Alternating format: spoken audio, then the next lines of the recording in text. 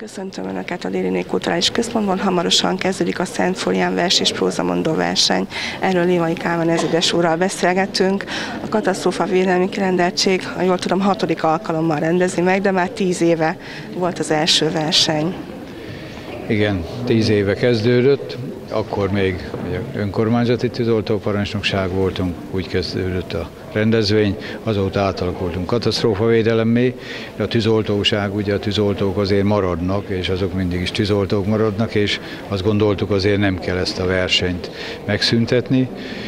Annál inkább nem kell megszüntetni, hogy nem csak helybeli és környékbeli tanulókat várunk erre a versenyre, hanem határon túli magyar tanulókat is várunk, és hál' Istennek jönnek is mindig.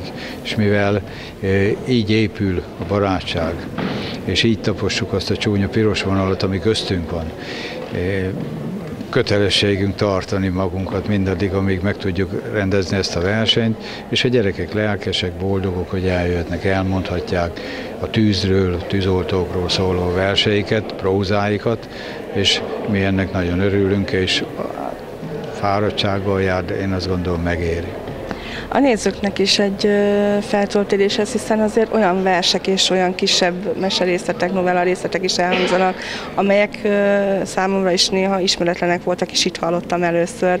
Tehát így csokorba szedve a tűzről, a tűzoltók munkájáról azt gondolom, hogy ez egy fontos, hogy átadni a hallgatóságnak ezeket a gondolatokat. Igen, és a Jókai Anna volt az első versenyünk zsűri elnöke, és ő maga is elcsodálkozott, hogy ennyi vers van, ennyi próza szól a tűzről, a tűzoltókról. Ugyanakkor ő is egy tüzes dolgot hozott, amit a gyerekeknek hálából előadott egy művéből. Az a családi tűzhely melegét jelentette, az is egy nagyon fontos tűz, ami kell, hogy megmaradjon és összegyűjtöttük, amit tudtunk, körülbelül 80-90 vers és próza van a gyűjteménybe, és bízom benne, hogy ez még szaporodni fog, és hát biztatjuk a határon túlról érkezőket is, hogy hozzanak ottani szerzők műveit, amit esetleg mi itt nem, nem találunk, vagy nem ismerünk, hogy szaporodjon ez a gyűjtemény mert másodszor említjük, hogy határon túli lett már ez a verseny. Mely településekről vannak ma itt versenyzők? Ez részben a testvérvárosi kapcsolatoknak köszönhető, részben a tűzoltó kapcsolatoknak, részben baráti kapcsolatoknak.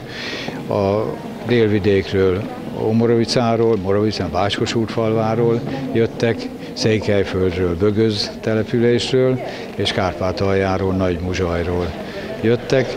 Hát más évben volt, amikor eh, Székelykeresztúr testvérvárosunkból is érkeztek, sőt Csíkszent királyról is, most ők nem tudtak eljönni. Sok a program, hál' Istennek, és itt torlódás miatt dönteni kell, hogy itt vagy ott vagyok, de így is eh, azt gondolom szépen kiteljesedett a létszám, 29 versenyző lesz a három kategóriába, hát 30-at terveztünk, ez legyen a legnagyobb baj, hogy egyen rövidebbek vagyunk kik lesznek azok, akik ítéletet, idézőjelbe ítéletet hoznak a versmondók felett, tehát kik a zsűri tagjai?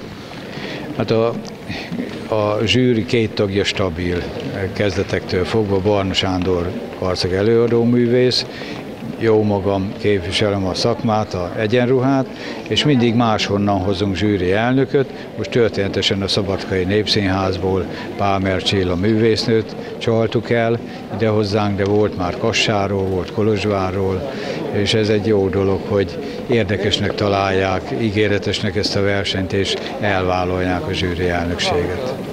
Én azt hiszem, hogy ma is nagyon sok élménnyel megy haza, aki meghallgatja itt élőben, vagy pedig majd a tévében megnézi ezeket a verseket, és olyan érdekes, hogy van, egy, van olyan, amikor négy-ötször is elhangzik ugyanaz a vers és, és nem ugyanúgy mondják a gyerekek, tehát ez is a saját kis élményeiket, az érzésvilágukat mindig mindenki másképp viszi vele a adott versbe. Ez érdekes, és a zsűri, a, ugye a karcagiaknak vagy a helybelieknek mindig egy elődöntőt tartunk, mert túl sokan vannak ahhoz, hogy itt a döntő mindenki megmérkőzön, azért kezelhető hosszúságú programot kívánunk nyújtani a közönségnek, és mindig megbeszéljük az előzsűri tagjaival, hogy hát úgy le kellene valahogy, hogy hát ne jusson háromszor tovább a Didergő király, vagy más hosszú próza, mert a versek általában annyira nem hosszúak, de mert meg egy kicsit úgy furcsa, és egymás után háromszor dideregni, de azzal együtt tényleg érdekes, hogy mindenki másképp adja elő. Kicsit másképp, vagy nagyon másképp, de ugye a zsűri nem hagyja magát befolyásolni, mindig azt mondják, hogy amikor mégis tovább jut három hosszú próza, hogy hát jó volt az előadás. Hát most azért nem zárják ki, mert ó, már van kettő, ne legyen harmadik, és hát ebben nekik van igazuk ez meg már a mi kötelességünk, a nézőké is, meg a, a döntő zsűrié, hogy elviseljük ezt a csapást, hogy, hogy sok gyerek mer hosszú prózát választani. Mert ez is nagyon fontos, hogy kicsit sajnálom is a gyerekeket őszintén, mert abban a hosszú prózába könnyebb belebakizni. Viszont egy baki elrontja az egész szép előadást, amit produkáltak, és aztán már nagyon nehéz úgy értékelni őket, mintha nem bakiztak volna. Tulajdonképpen értük féle, félek, félünk egy kicsit, mert itt, itt mi kiszolgálói vagyunk a versenyzőknek, nem ők vannak mi értünk, hanem mi ő értük, és hát ezt tudomásul kell vennünk, és így kell dolgoznunk. Akkor én jó munkát kívánok a zsűri tagjainak is, és reméljük, hogy lesznek olyan tehetségek, akik innen majd még nagyobb versenyekre is eljutnak. Hát bízunk mi is hozzá, köszönjük szépen! Az előbb már hallottuk Lévai Kálmántól, hogy idén Pálmer Csilla a Szabadkai Népszínház művésze lesz a zsűri elnöke. Itt azért már picikét nagyon készülnek a gyerekek, volt egy kis benyomása a dolgokra. Nem tudom, volt-e már hasonló versenyen? Voltam versenyen, épp a múlt héten, múlt hétvégén Vajdaságban Feketicsen volt egy műfordítások versenye, és amelyeket persze előadtak. Úgyhogy jó felkészülés volt erre a hétvégére, ott is kb. ez a korosztály vetélkedett. Ott is nagyon erős volt a színvonal, úgyhogy itt is tudom, hogy volt már egy elődöntő, szóval biztos, hogy itt is kemény lesz. Nagyon, nagyon kíváncsi vagyok, és nagyon örülök, hogy itt lehetek, még soha nem voltam Karcagon, úgyhogy örülök, hogy itt lehetek, és látom, hogy nagyon nagy hagyománya van ennek az egésznek, ennek az egész rendezvénysorozatnak, vagy versenynek, és, és ez, ez még nagyobb öröm, hogy így rám gondoltak, és hogy itt lehetek én, mint zsűri. Itt érkeznek közben a versenyzők, tehát azért látjuk, hogy vannak kisebbek, nagyobbak, tehát biztos, hogy a zsűrinek is nehéz a dolga, amikor kisebbeket, nagyobbakat is kell, meg gondolom, hogy szolidaritás is van azért, hogy aki izgul, azt próbálják megnyugtatni. Igen, igen, meg mondjuk múlt héten is fordult elő olyan, hogy mondjuk megakadt valaki, de ez egyáltalán nem baj, tehát még a, a legprofibbakkal is előfordul az, hogy megakadnak például egy-egy szövegben, de persze ők, ők is nagyon izgulnak, de már ilyen kicsi korban is látszik az, hogy ki, a, ki kiben van nagyobb érdeklődés vagy affinitása az előadó művészetre, és, és kiben csak egy ilyen hobbi szinten él, vagy, vagy csak úgy próbálkozik, úgyhogy nagyon érdekes dolgok itt is már ki tudnak derülni. Hát én azt gondolom, izgalmas lesz a zsűri munkája. Én jó zsűrizést kívánok önnek. Köszönjük, köszönöm szépen. Kovács Szilvia polgármester asszonyjal beszélgetünk itt a kezdetek előtt néhány perc, itt már mindenki nagyon izgul, vannak nagyon szép székegyruhába öltözött gyerekek is, vannak kisebbek, nagyobbak, tehát ez egy nagyon szép délutánnak ígérkezik. Én is úgy gondolom, hiszen ha gyerekek szerepelnek, és ráadásul verset, prózát szépen magyarul mondanak, én úgy gondolom, hogy az a délután csak nagyon szép lehet. És hát különleges a verseny is, hiszen csak a tűző tűzoltók munkájáról fognak szólni ezek az előadások. Egy picit azt gondolom ezzel is közelebb visszük ezt a kicsit megközelíthetetlen szakmát mindenkihez. Így van, a, akinek megközelíthetetlen, ahhoz közel visszük, viszont a gyerekek én úgy tudom, és én tapasztalom is az unokáim révén, hogy nagyon közel állnak a tűzoltósághoz, hiszen a kedvenceik, és bizony nagyon jó, hogy, hogy nem csak a tűzzel az oltás szempontjából foglalkozunk, hanem megnézzük, hogy az irodalom, vers, a próza, a mese hogyan foglalkozik ezzel a kérdéskörrel, és bizony úgy gondolom, hogy nagyon sokat tanulhatnak a gyerekek ebből a aspektusból is erről a területről. Tegnap volt szerencsém a Földnapja programon részt venni Budapesten a Nemzeti Múzeum kertjében, és ott is volt egy erdőtűz elleni védekezésképpen egy komoly program a gyerekeknek, és ott is nagyon aktívan részt vettek, érdekli a gyerekeket ez a téma, és én úgy gondolom, hogy nagyon sokat taníthatjuk ebben a korban őket, és egy felelős gondolkodást kialakíthattunk úgy, hogy közben szórakoznak is, hiszen most verset és prózát fogunk tőlük hallani. Az előbb Lévai Kálmántól hallottuk, hogy közel 100, tehát 80-90 már az olyan művek száma, amiből választhatnak. Nem is gondolnánk, hogy ennyi művész, alkotó foglalkozott már ezzel a témakörrel. Így van, én magam sem gondoltam, hogy ennek ekkora az irodalma, és ilyen nagy a merítési forrása. Én kíváncsian várom ezeket a produkciókat, és biztos vagyok benne, hogy nagyon jó szórakozásban és nagyon szép élményekben lesz részünk a mai délután folyamán. Akkor én ezt kívánom önnek, köszönjük szépen. Én is köszönöm szépen. Jó napot kívánok! Kovácsné Kerekes Katalin vagyok, a mai rendezvény háziasszonya. Tisztelettel és szeretettel köszöntöm a 6. Szent Flórián vers és prózamondó verseny döntőjének határon inneni és határon túli versenyzőit, az őket felkészítő tanárokat, szülőket, minden kedves vendégünket. Nagyon örülök, hogy a sok tehetséges és ügyes karcagi versenyző mellett határon túli barátainkat is üdvözölhetem. Ők nagy utat tettek meg, hogy eljöhessenek hozzánk, de maga a tény, hogy itt vannak, tovább erősíti összetartozásunkat, a tudatot, hogy mindannyian magyarok vagyunk. Kérem, hogy mi, a házigazdák karcagi vendégszeretettel köszöntsük és üdvözöljük őket. Köszöntöm az Erdélyből, a székelyföldi Bögözből érkezett kedves barátainkat. Isten hozott benneteket.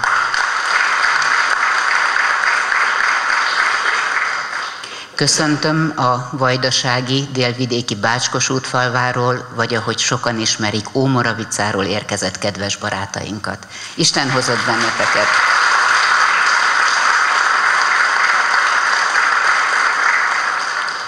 És nagyon örülök, hogy ismét itt vannak közöttünk a kárpátaljai Nagymuzsajról érkező kedves barátaink. Isten hozott benneteket.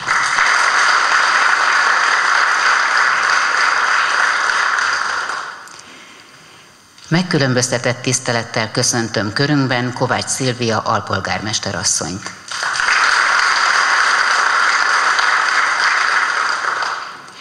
Tisztelettel köszöntöm Gulyás Zsoltatyát, a Karcagi Római Katolikus Egyházközség plébánosát, érseki tanácsos urat.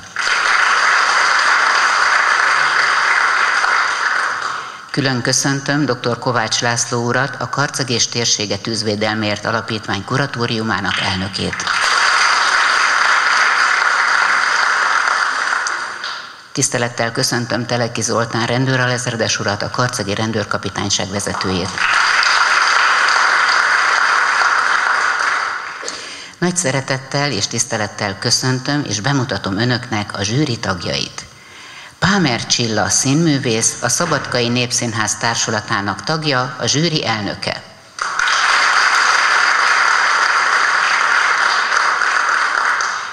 Tegnap, 22-én nem csak a Föld napja, hanem Csilla napja is volt. Isten éltesse őt erőben, egészségben, szeretetben, azt kívánom.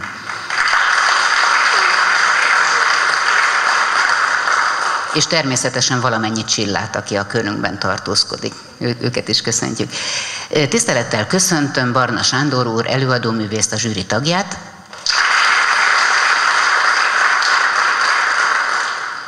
Tisztelettel köszöntöm Lévai Kálmán, tűzoltó ezredes urat, a Jász Nagykunszolnok megyei katasztrófavédelmi igazgatóság, és még van benne K betű, Karcagi Katasztrófa Védelmi Kirendeltségének kirendeltségvezetőjét. Nagy szeretettel és tisztelettel köszöntöm a Karcagvárosi Önkormányzat képviselőtestületének jelenlévő tagjait, az iskolák, intézmények vezetőségét, tanárait, valamint a Karcagi Hivatásos Tűzoltóparancsnokság megjelent tagjait, és természetesen minden kedves vendégünket. Külön köszöntöm a Karcagi Televízió nézőit, akik majd a képernyőn keresztül követik figyelemmel rendezvényünket. Kívánom, hogy ők is sok kellemes percet találjanak a mai délutánon készült műsornézése közben. Tisztelt jelenlévők, úgy gondolom, hogy elmondhatjuk, hogy mindannyiunk nagy örömére szolgál, hogy immár hatodik alkalommal kerülhet sor a Szent Flórián vers és prózamondó versenyre. Büszkén mondhatjuk, egyedülálló kezdeményezés, hogy a tűzoltók védőszentjének tiszteletére versmondó versennyel emlékezzenek. Felkérem Kovács Szilvia alpolgármesterasszonyt a rendezvény megnyitására. Tisztelt ezredes urak, tisztelt plébános úr, érseki tanácsos úr, tisztelt Ernök úr, tisztelt képviselőasszony, tisztelt képviselő úr, tisztelt igazgatóasszonyok, igazgató urak, tisztelt hölgyeim és uraim, kedves vendégeink, és elsősorban kedves vendégek. Nagyon nagy szeretettel köszöntöm Önöket Karcagváros önkormányzata nevében. Elsőként engedjék meg, hogy átadjam Dobos László polgármester úr üdvözletét, aki sajnálatára ezen a rendezvényen nem tud jelen lenni, de általam és a képviselőtestület tagjai által és az egész karcegi lakosság által képviselteti magát. A rendezvényhez és a szereplésekhez nagyon sok sikert kíván és gratulál a rendezvény megszervezéséhez. Amikor az ismerősei megkérdezték, hogy ugyan vajon miért nem pihenek délután, és mi dolgom lesz, én büszkén mondtam, hogy egy Szent Flórián elnevezésű próza és versmondó versenyre megyek. Kerek szemekkel csodálkoztak rám, és kérdezték, hogy ugyan vajon mondjam már meg, hogy mi köze a tűzoltóságnak a vers és a próza mondáshoz. És én rögtön megvédtem őket, hogy igenis, nagyon sok közük van hozzá. A tűzoltók nagyon nehéz életet élnek, és elég kemény munkát végeznek, aminek inkább úgy gondolom, hogy a pszichiátriai oldala, a pszichés oldala nagyon sok esetben kemény feladatokat ró rájuk. Én úgy gondolom, hogy nem lehet azon csodálkozni, hogy a kikapcsolódásukat leginkább a művészetek terén vagy a sport terén tudják megőrizni. És hogyha művészetről beszélünk, akkor a zene mellett az egyik legfontosabb az irodalom. És nagyon örülök annak, hogy ezt ők fölkarolták, és a másik ok, amiért itt lehetünk, hogy bizony ennek a vers és prózamondó versnek a témája a tűz. A tűzzel kapcsolatos írásokat, verseket és prózákat fogjuk itt hallani, és én úgy gondolom, hogy nem sokan vagyunk, akik nagyon otthon lennénk ebben a témában, és nagyon sok példát tudnánk arra mondani, hogy milyen tűzzel kapcsolatos versek és mesék és prózák íródtak. Jól magam lassan talán egyet sem tudnék mondani, bár ha nagyon belegondolnék, talán egyet-kettőt, de nagyon sokat biztosan nem. Inkább a szerelem, a természet az, amely általában megihleti az írókat és a szerzőket, de a tűz, én úgy gondolom, hogy nem egy elterjedt témaválasztási lehetőség. És én ezen kívül még felhoztam érvként és indokként, hogy milyen jó, hogy ma délután itt lehetek együtt önökkel, mert itt a gyerekek által biztosan szép beszéddel, szép magyar beszéddel fogok találkozni. Ha belegondolunk és hallgatjuk a médiát is, akkor bizony elmondhatjuk, hogy szlengesedünk. Rövidítésekben beszélünk, írunk, hiszen az SMS már nem enged időt arra, hogy kiírjunk egy-egy szót. Én bevallom őszintén szoktam olyan SMS-eket kapni, és olyan üzeneteket kapni, amit lassan nem is tudok megérteni, mert, mert olyan rövidítési módokat használnak, amit én valahogy, és szerencsére nem ismertem meg. Éppen ezért külön öröm számomra, hogy a gyerekek nagyon szépen, verselnek és prózát mondanak a ma délután folyamán. És külön öröm számomra, hogy a határon túli településekről itt vannak a gyerekek, hiszen olyan ízesen, olyan gyönyörűen tudnak beszélni magyarul, ahogyan mi nem tudunk, sajnos. Én úgy gondolom, hogy ez külön színfoltja lesz ennek a mai délutánnak. Gondoltam, a megnyitó beszédem során készülök valamilyen idézettel, és elkezdtem keresgetni. Aztán úgy gondoltam, hogy miért is keresek én idézeteket, hiszen itt lesznek a gyerekek. És gyönyörű verseket, prózákat fognak nekünk mondani, és én úgy gondolom, hogy ezt a hatást nem szabad elrontani azzal, hogy én idézettel kezdem beszédemet. Fontos viszont, hogy megköszönjem a felkészítő tanárok áldozatos munkáját, hiszen nekik köszönhető, hogy ezek a gyerekek szeretnek verset, prózát mondani. Isten tartsa meg jó szokásokat felnőtt korukban is. Kísérje végig egész életüket az irodalom, a művészet szeretete. Szeretnék köszönetet mondani Ezredes úrnak és a tűzoltóságnak, hogy ezt a kezdeményezést tovább vitte, és már tizedik éve, tíz éve itt lehetünk és hallgathatjuk ezeket a szép előadásokat. Nem kis teljesítmény egy ilyen versenyt megszervezni, megrendezni. Én kívánom, hogy még tíz év múlva is legyünk itt, és várjuk nagy örömmel és lelkesedéssel, izgalommal a gyerekeknek az előadását.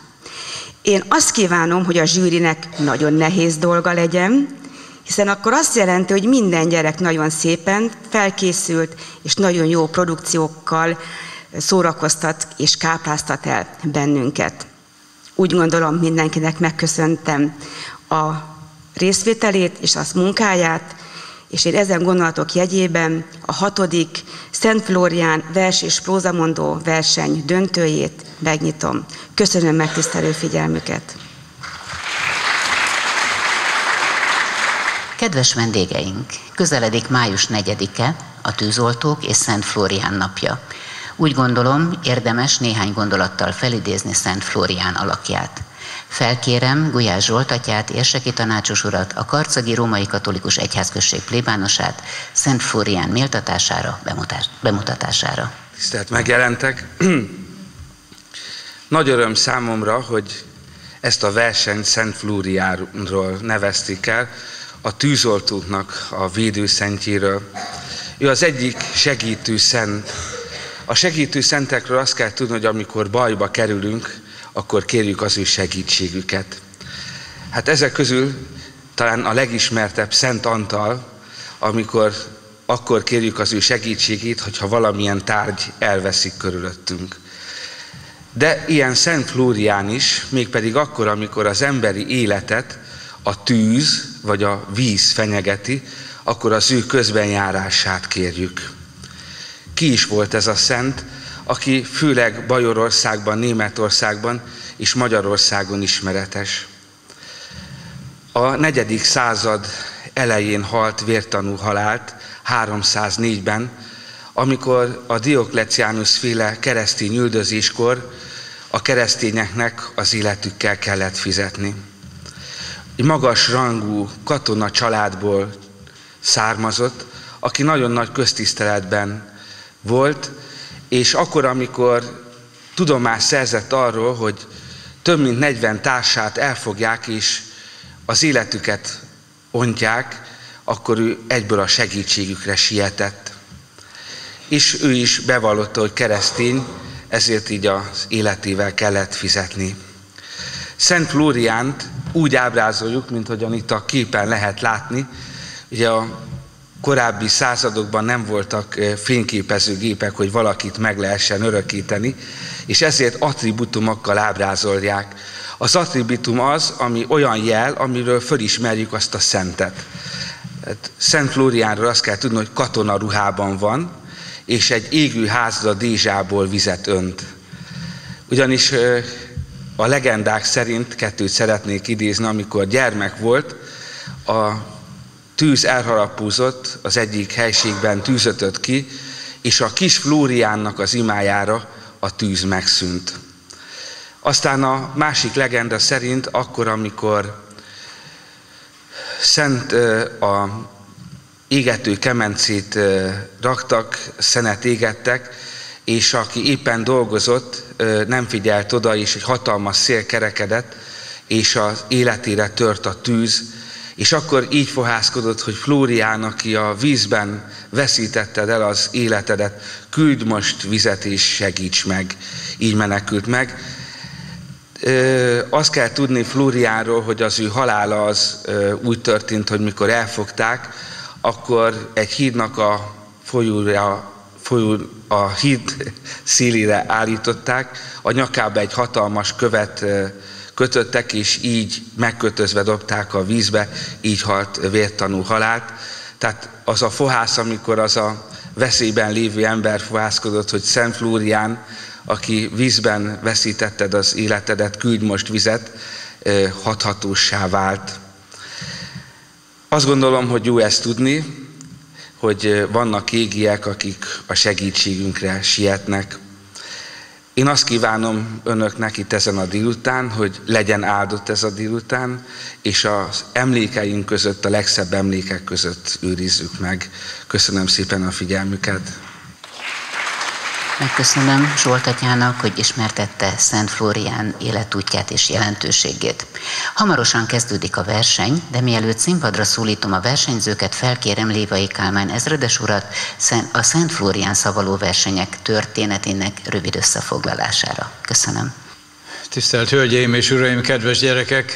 Verse és prózamondó versenyre jöttünk össze, és hát ismertessem a verseny történetét. Azt gondolom, hogy akkor vagyok stílszerű, hogyha úgy mesélem el, ahogy volt. Hol volt, hol nem volt? Volt egyszer egy tűzoltóság, ott a Karcagi főutcán is túl. Ott sok-sok okos tűzoltó volt, de közöttük is a legokosabbik kitalálta, hogy csináljunk egy vers és prózamondó versenyt. És hát megpróbálom most már prózába is rövidebben mondani, mert látok sok rémült arcot, hogy este hatig itt mese lesz, már pedig nincs mese versenynek kell lenni. Tehát volt a legokosabbik, aki kitalálta ezt a versenyt, na innentől kezdve ő szép is sem lehetett, de okos sem, mert volt bennünk ellenállás rendesen, hogy ilyen versenyt ne idegesítsen már, hogy gondol ilyet, aki ezt kitalálta. Aztán élelődött, élelődött a gondolat, és és hát volt benne fantázia. Az aktivitására jellemző módon sok verset már addigra összegyűjtött, sok prózát összegyűjtött, és mondta, hogy íme itt van, hát van miből válogatni, ezt kiküldjük a gyerekeknek, kiküldjük az iskoláknak, és akkor tudnak belőle válogatni. És így elindult az első verseny. Az első zsűri elnökünk Jókai Anna írónő volt, hát nem kicsi név a szakmába, és nagy boldogság volt számunkra, hogy elvállalt ezt a megbízatást, és ő maga is elcsodálkozott, hogy valóban mennyi költemény szól a tűzről, a tűzoltókról, a tűzvészről. És mivel ez az első verseny ilyen jól sikerült, talán bennünket is meglepett, hogy mennyire lelkesek voltak a gyerekek, lelkesek voltak a pedagógusok, a felkészítők, és a szülők is kellő türelemmel viseltettek gyermekük iránt, amikor gondolom nap mint nap a versikéket mondták, illetve a prózát próbálták hiba nélkül megjegyezni. Elindult a folyamat, és lett második, lett harmadik, és most a hatodik versenynél tartunk. És egy pici jubileumról már beszélhetünk, és tíz éve volt ez az első verseny. És hát mi legyen. Újítsunk mindig valahol, hol tudunk mi újítani. Valahogy úgy alakult, hogy Barna Sándor előadó művészünk oda nőtt a székhez, és ő örökös tagja lett a zsűrinek. Jó magam próbálom a szakmát képviselni, és mindig mást-mást igyekeztünk megnyerni. És annál is inkább, hogy határon túlról is jönnek versenyzők, hogy határon túlról is jöjjön zsűri elnök. Így volt a Kolozsvári Magyar Operából, volt a Kassai Tália Színházból, most ugye Szabadkáról, a Szabadkai Népszínházból, de volt a Szolnoki Sziglegiti Színházból, és hogy hát a karcagi gyerekek is legyenek valamilyen módon képviselve, ám lehetőleg pártatlanul, így a karcagi könyvtárból Szabóné Katika is volt itt már zsűri elnök, és aztán talán elmondhatjuk, hogy így kerek a világ, még teljesen nem kerek, hisz Kárpátaljáról még nem volt zsűri elnökünk, de ami, nem, ami késik, az nem múlik.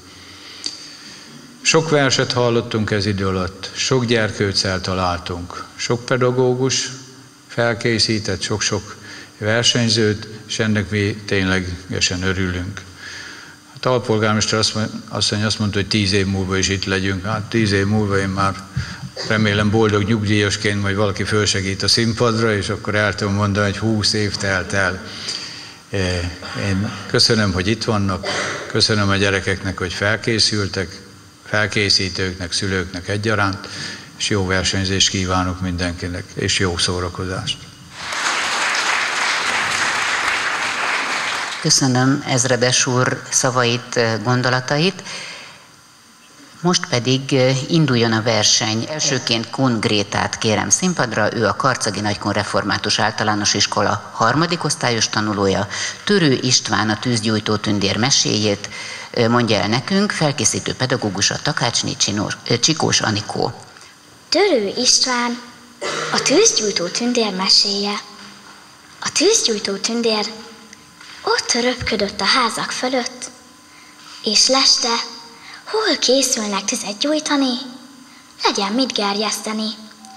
Valljuk meg, egy kicsit önző szándék is vezette, mert szeretett a tűz lángjánál melegedni, beleszimatolni, a, tűzhely, a tűzhelyen fortyogó lábasokba, fazekakba, hogy jól lakhasson, mert hogy a tűzgyújtó tündér beérte az ennivaló illatával is.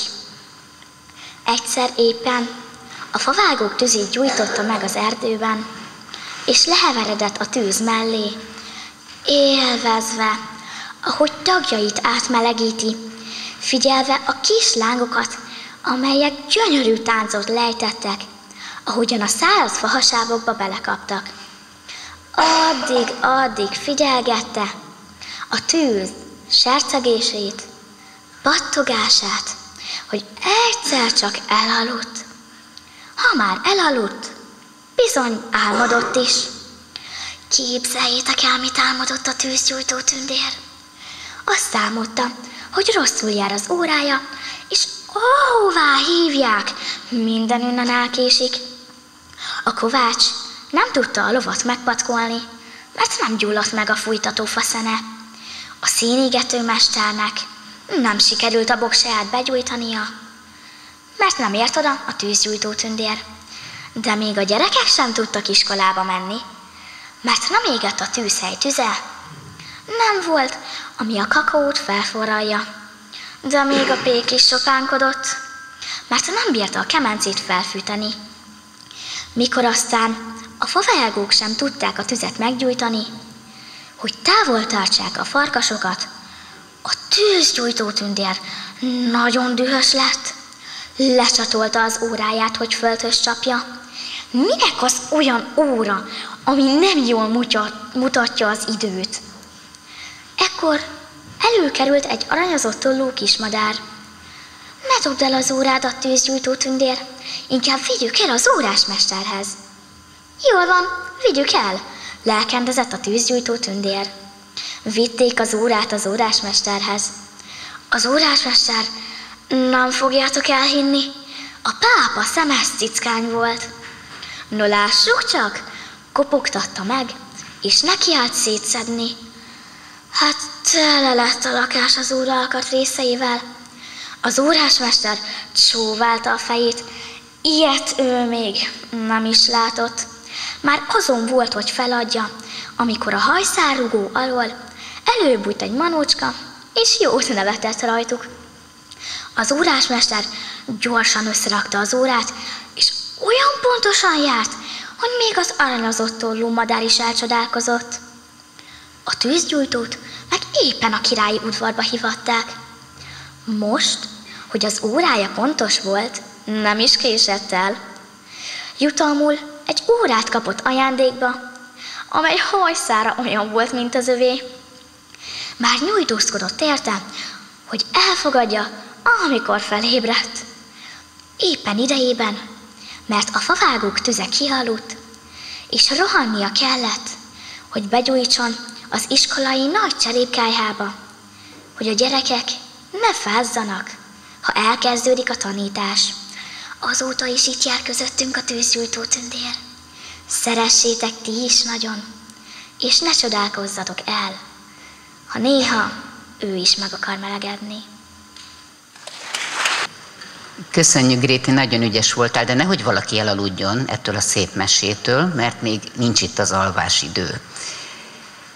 Második eh, versenyzőnk következik, egy pillanat. Ő Jakab Csongor, és majd felkészül Ábrahám Ágnes Sarolta. Jakab Csongort kérem tehát színpadra, ő a Nagymuzsai Középiskola második osztályos tanulója, Grillus Vilmos Tótágas című művét halljuk tőle, felkészítő pedagógus Jakab Erika. Grillus Vilmos Tótágas Mezőn sétálnak a halak, békák szállnak felhők alatt. Maskát fognak kisegrek, fogoljukból ki mehet, gyufát gyújtanak a rókák, s tengerbe dobják nyomban. A kék tenger lángzsalóban tűz lepi el az egészet. Kibukkan a szegényszet. Hely, tűzoltók, segítség, lángol a víz, el is ég. Ég a tenger hullámfor, krokodilrá gombászor, palacsintát, habosfánkot, s kihújnak a magas lángok. De az alja mégis ég, el nem alszik szörnyűség, rámond két tyúk egy hordót, két kis pontyis vizet hordott. Dézsából két béka is rárucsol, de ég az is, ég a tenger tüzes habját, mint hiába oltogatják. Ám egy lepke felrepül, könnyű szárnyal elredül. Rálegyint a lángra, s íme a lángnak nincsen hamva híre, Újonga sok állat erre, füleikkel tapsolnak, mézes napfint habzsolnak.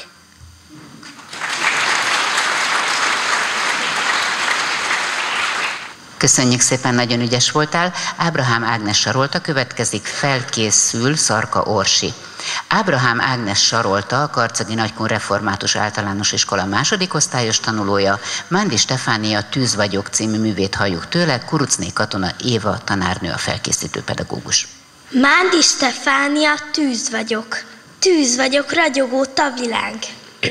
Legyőzlek, kisvilág, nagyvilág, Tűz vagyok lobogó fákja, felkúszom a lombos fákra. Sápadj el napfény, te aranyló, csődöröm négyszárnyú aranyló. Felszántja szétpolló egedet, csillagot legel és felleget. Ezer év pályáján egy röpke pillanat, Kövest hát éjszántó fénycsóvás utamat. Vigyetek rohanó paripák, hegyen át, vizen át, egen át. Vigyetek lobogó szárnyak, elvetek minden bút árnyat. Szárnyamon pajtás, ha megülnél, te is a magasba repülnél. Meglátnád úgy, mint a regében, mi van a pacsirták egében. Hívtalak, szálltunk az égen át, picin lett, játék lett a világ. Köszönjük szépen Áginak. Szarka Orsolyát szólítom, ötödik versenyző pedig Suba Viktória Magdolna lesz. Szarka Orsi, a Karcagi Nagykun Református Általános Iskola harmadikos tanulója, Erdély Ernő, a Tűzoltó című művét halljuk tőle, Takácsné Csikós Anikó tanárnő a felkészítő pedagógus. Erdély Ernő, a Tűzoltó. Csodálatos névtelen vezérek, akikről szól hódoló szavam Vitézségük egy-egy hősi ének, lobogójuk szent, mocsoktalan. Ezer éves nagy történetünknek legszebb napján van a nevetek. Hozsannával, magasztaló szóval, tűzoltóság, én köszöntelek. Láttalak a füstölgőház ormán, nyaldosólán küzdött ellened. Láttalak a rohanó víz árján, segítségül, mint nyújtát kezed. Láttalak a bősz elemmel szemben, ahol olcsó élet és halál. Láttalak, s örömrepesve néztem, hogy a tűz benned oltóra talál. Amíg oltod a pusztító lángot, érző szíved szent lángért hevül. Minden egyért és egy minnyájunkért a zászlóról a szívbe kerül. E szent lángot nyújtod, szítod büszkén, hadd dobogjon minnyájunk előtt, Becsületes, kemény munkát közben, e szent érzés benned nagyra nőtt. Ez vezet a küzdelem útjára, ez lelkesít künn a vészhelyen, ezer bajjal bátran szembeszállva, ettől rettem meg a bősz elem. Nincs előtted barát, vagy ellenség, segíted azt, aki rád szorul, s ha elestél, utánad jő új más, aki csak a szép példán okul. Ha szól a kürt, s a tűzharang kongat, nincs előtted akadály, veszély. Fel a szerre, ki a nagy utcára, s robogtok a tűzhöz, mint a szél. Fel a létren, a sugárcső a kézben, ott vagytok a magas háztetőn. Szökken a víz, csökken a tűz fénye, s mindig győztök bátran, vakmerőn. Nem láttad, mi veszély járt körötted, nem nézted, a ház milyen magas, nem nézed, ki az, kit segítesz. Nem láttad, hogy bajba jutsz magad. Nem nézed, ki az, kit segítesz. Érezted, hogy terád volt szükség, mit bántad, ha nagy is a veszély. Előtted a hőt sugárzó lángok, alattad a halált rejtő mély. s megmentetted hálát nem is várva, emberbarátaid éltét, vagyonát, s mint aki dolgát jól végezte, felszereltél, s vonultál tovább. Sokszor bénán távoztál el onnan, de megvédted mások mindenét. S még nem kértél köszönetet, díjat, kötelesség volt ez, nem egyéb. Tűzoltóság, nehéz küzdelmednek, gyöngyelékes minden lánceme. A te munkád a polgárerények legszebbje, legnemesebbje. Nem kapsz érte aranyat, ezüstöt, küzdelmedért nem kell jutalom. Verejtékes munkásságod bére, a boldogság ül az arcodon. Tűzoltóság, szent magasztos eszme, te benned egy igeölt testet. Hivatásod a legszebb a földön, mire téged égi kéz jelölt. Küzdj, csak úgy, mint nagy múltadban küzdtél. Ne csüggedj el, ne állj meg soha. Büszkesége vagy te minnyájunknak, mert a tűzoltó az első katona. Köszönjük szépen, biztos a szívéhez szóltál a tűzoltóknak, hogy ők az első katonák. Suba Viktória Magdolna következik, felkészül Madar Szilvia Nóra. Suba Viktória Magdolna, a Karcagi Általános Iskola és Alapfokú Művészet Oktatási eh, Iskola Kiskulcsosi Tagintézmények, tagintézményének negyedik osztályos tanulója, Karádi György, hívjátok a Tűzoltókat című művét halljuk előadásában, Cserés Gabriella tanárnő a felkészítő pedagógus. Karádi György, hívjátok a tűzoltókat. Mikor recsegve, ropogva ég a ház, mikor robbanni készül palacban a gáz, mikor szét kell vágni a roncsautókat, hívjátok a tűzoltókat. Ha beázik a pince és a padlás, ha villámként jön felülről az áldás, ha menteni kell rosszakat és jókat, hívjátok a tűzoltókat. Mikor viharban leszakad az ág, mikor az őrült újra a túlóra hág, mikor nem tudtok már bajban jobbat, hívjátok a tűzoltókat. De ha együtt vagyunk, és a zene szól végre, és a történeteknek soha sincs vége, borral telt pohárra kocinthatunk jókat, hívjátok a tűzoltókat.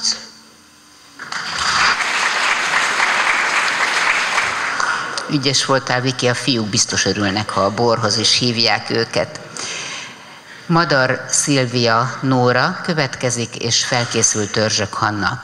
Madar Szilvia Nóra a Györfi István Katolikus Általános Iskola harmadik osztályos tanulója, Szintén Karádi György, hívjátok a Tűzoltókat című művét halljuk előadásában, Csinátné Bakó Éva tanárnő felkészítő pedagógusa.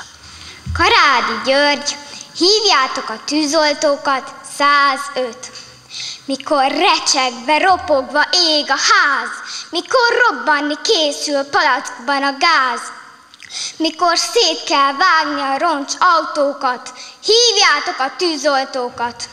Ha beázik a pincé és a padlás, ha villámként jön felülről az áldás, ha menteni kell rosszakat és jókat, hívjátok a tűzoltókat. Mikor viharban leszakad az ág, mikor az őrült újra a turulra hág, mikor nem tudtok már a bajban jobbat, hívjátok a tűzoltókat. De ha együtt vagyunk, és zene szól végre, és a történeteknek soha sincs vége, borral telt pohára kocinthatunk jókat, hívjátok a tűzoltókat. Jó lenne, ha mindig csak a borhoz hívnák a tűzoltókat, igaz Törzsök Hanna, a hetedik versenyzők, nyolcadikként pedig Birizló Csenge lép majd színpadra. Törzsök Hanna, a Györfi István Katolikus Általános Iskola harmadik osztályos tanulója, Móra Ferenc, a Tűzoltó gyerekek esti imája című művét halljuk tőle, Csinátné Bakó Éva tanárnő a felkészítő pedagógus. Hallgatunk, Hanna. Móra Ferenc, Tűzoltó gyerekek esti imája. Édes jó Istenünk éjszakát leszállott, szánya alá fogta az egész világot. Alszik a napocska, alszik a szelecske, az elszaladt ficse élő fecske. Alszik a sajokban a nátpalipa is, lehúnyt a szemeit a bodorbaba is. Alszik meseország, alszik falu, város, szelte szét az álom pillangója száldos. Falunak, városnak, pihentető álmán, csak apukánk viraszt csendes őrszobáján. Bajázdás homlokát tenyerébe hajtja, gondolatban a mi orcánkat simogatja. Jaj, de hogy hiad fel, hogyha halan kondul, hogyha tűzmuskát itt látni a toronyból. Jaj, hogy kell sietnie, mindent elfeledni, a, a halál szélűjén áldott harca kelni.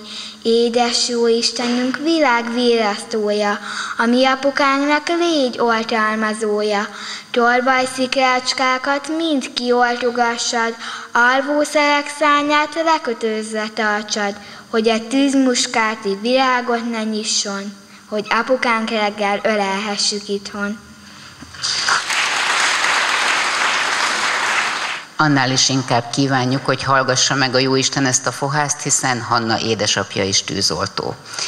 Birizló Csenge következik, kilencedikként pedig majd Szégyártó Harmat lép színpadra.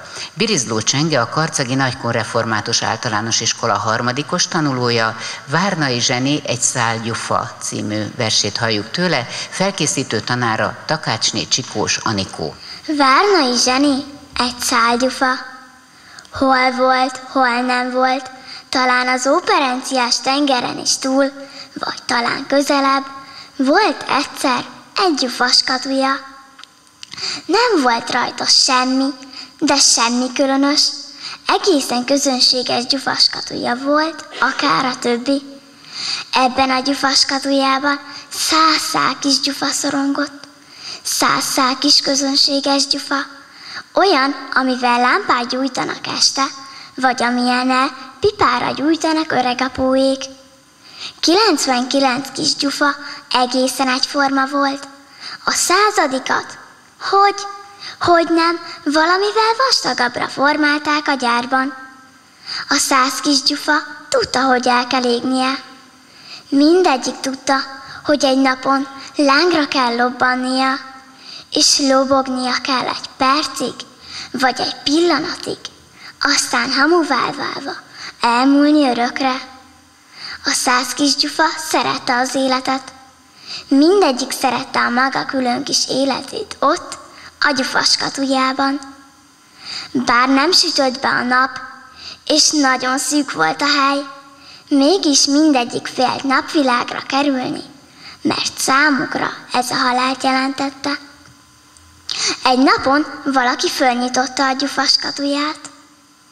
Egy kéz nyúlt bele, durva, goromba kéz, és kifett belőle egy szálgyufát, azután becsukta. A 99 kis berreket gyufa visszafolytott lélegzettel figyelt. Valami végig sercent a skatuja oldalán, valami, mintha lobbant volna, valami koppant a földön, azután csönd lett. A 99 kis gyufa szívét iszonyú félelem szorította össze. Csöndben, mozdulatlanul húzódtak meg a skatujában.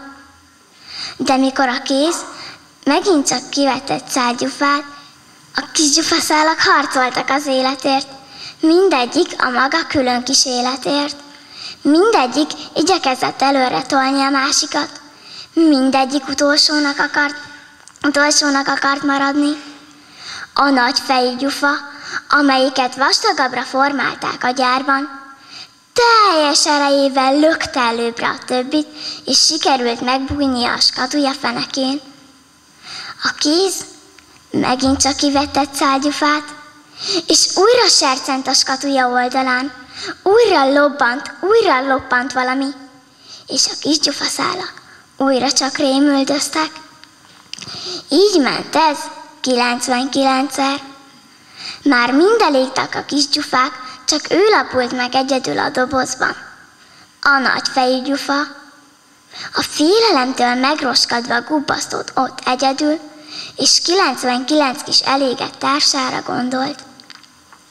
Ekkor hatalmas lökést érzett, mintha egy kéz fölemelte és kihajította volna a skatuját. Csak ugyan a skatuja gazdája, azt hívén, hogy ez már üres, kidobta az utcára. A boldog volt, föllélegzett, megmenekült, nagyon szépnek találta most az életet, magát pedig okosnak, kiválónak, a többinél sokkal különnek. Amint ott magában elmélkedett, elerett az eső. Előbb csak pár csepp koppant a skatuja fedelén, később viszont, mintha sajtárból zúdították volna, úgy zuhogott. A skatuja teljesen elázott. Később azonban mégiscsak kisütött a nap, és az elázott gyufaszálat megszárította. A gyufába visszatért az elázott önérzet, és újból diadalmas örömmel örült az életnek.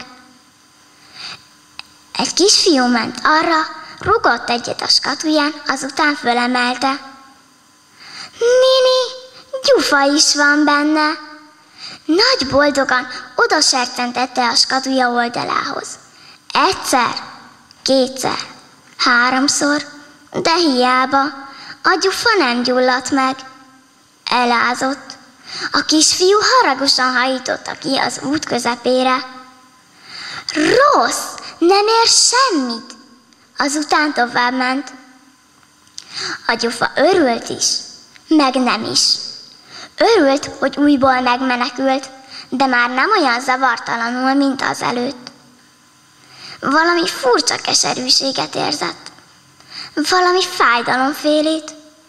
Az ő kis gyufászével nem tudta bizonyosan, hogy mit, csak érezte, hogy ez még sincsen rendjén. S amint ott feküdt, feküdt, egyedül, elhagyatva, az út közepén a sárban, egyszerre hatalmas vágyat érzett. Szeretett volna égni, ha csak egy rövidke percig is, de égni, lobogni, világítani. Megérezte, hogy haszontalanul hiába élt, s irigykedve gondolt 99 kis gyufatársára, akik egy villanásra legalább bevilágítottak a sötétségbe, és kicsiny életük nem volt el hiába. Most már szívesen elégett volna saját életének mágia tüzén. De késő volt. Nem lehetett. Arra jött egy szekér, keresztül ment rajta, és belegyúrta a sárba.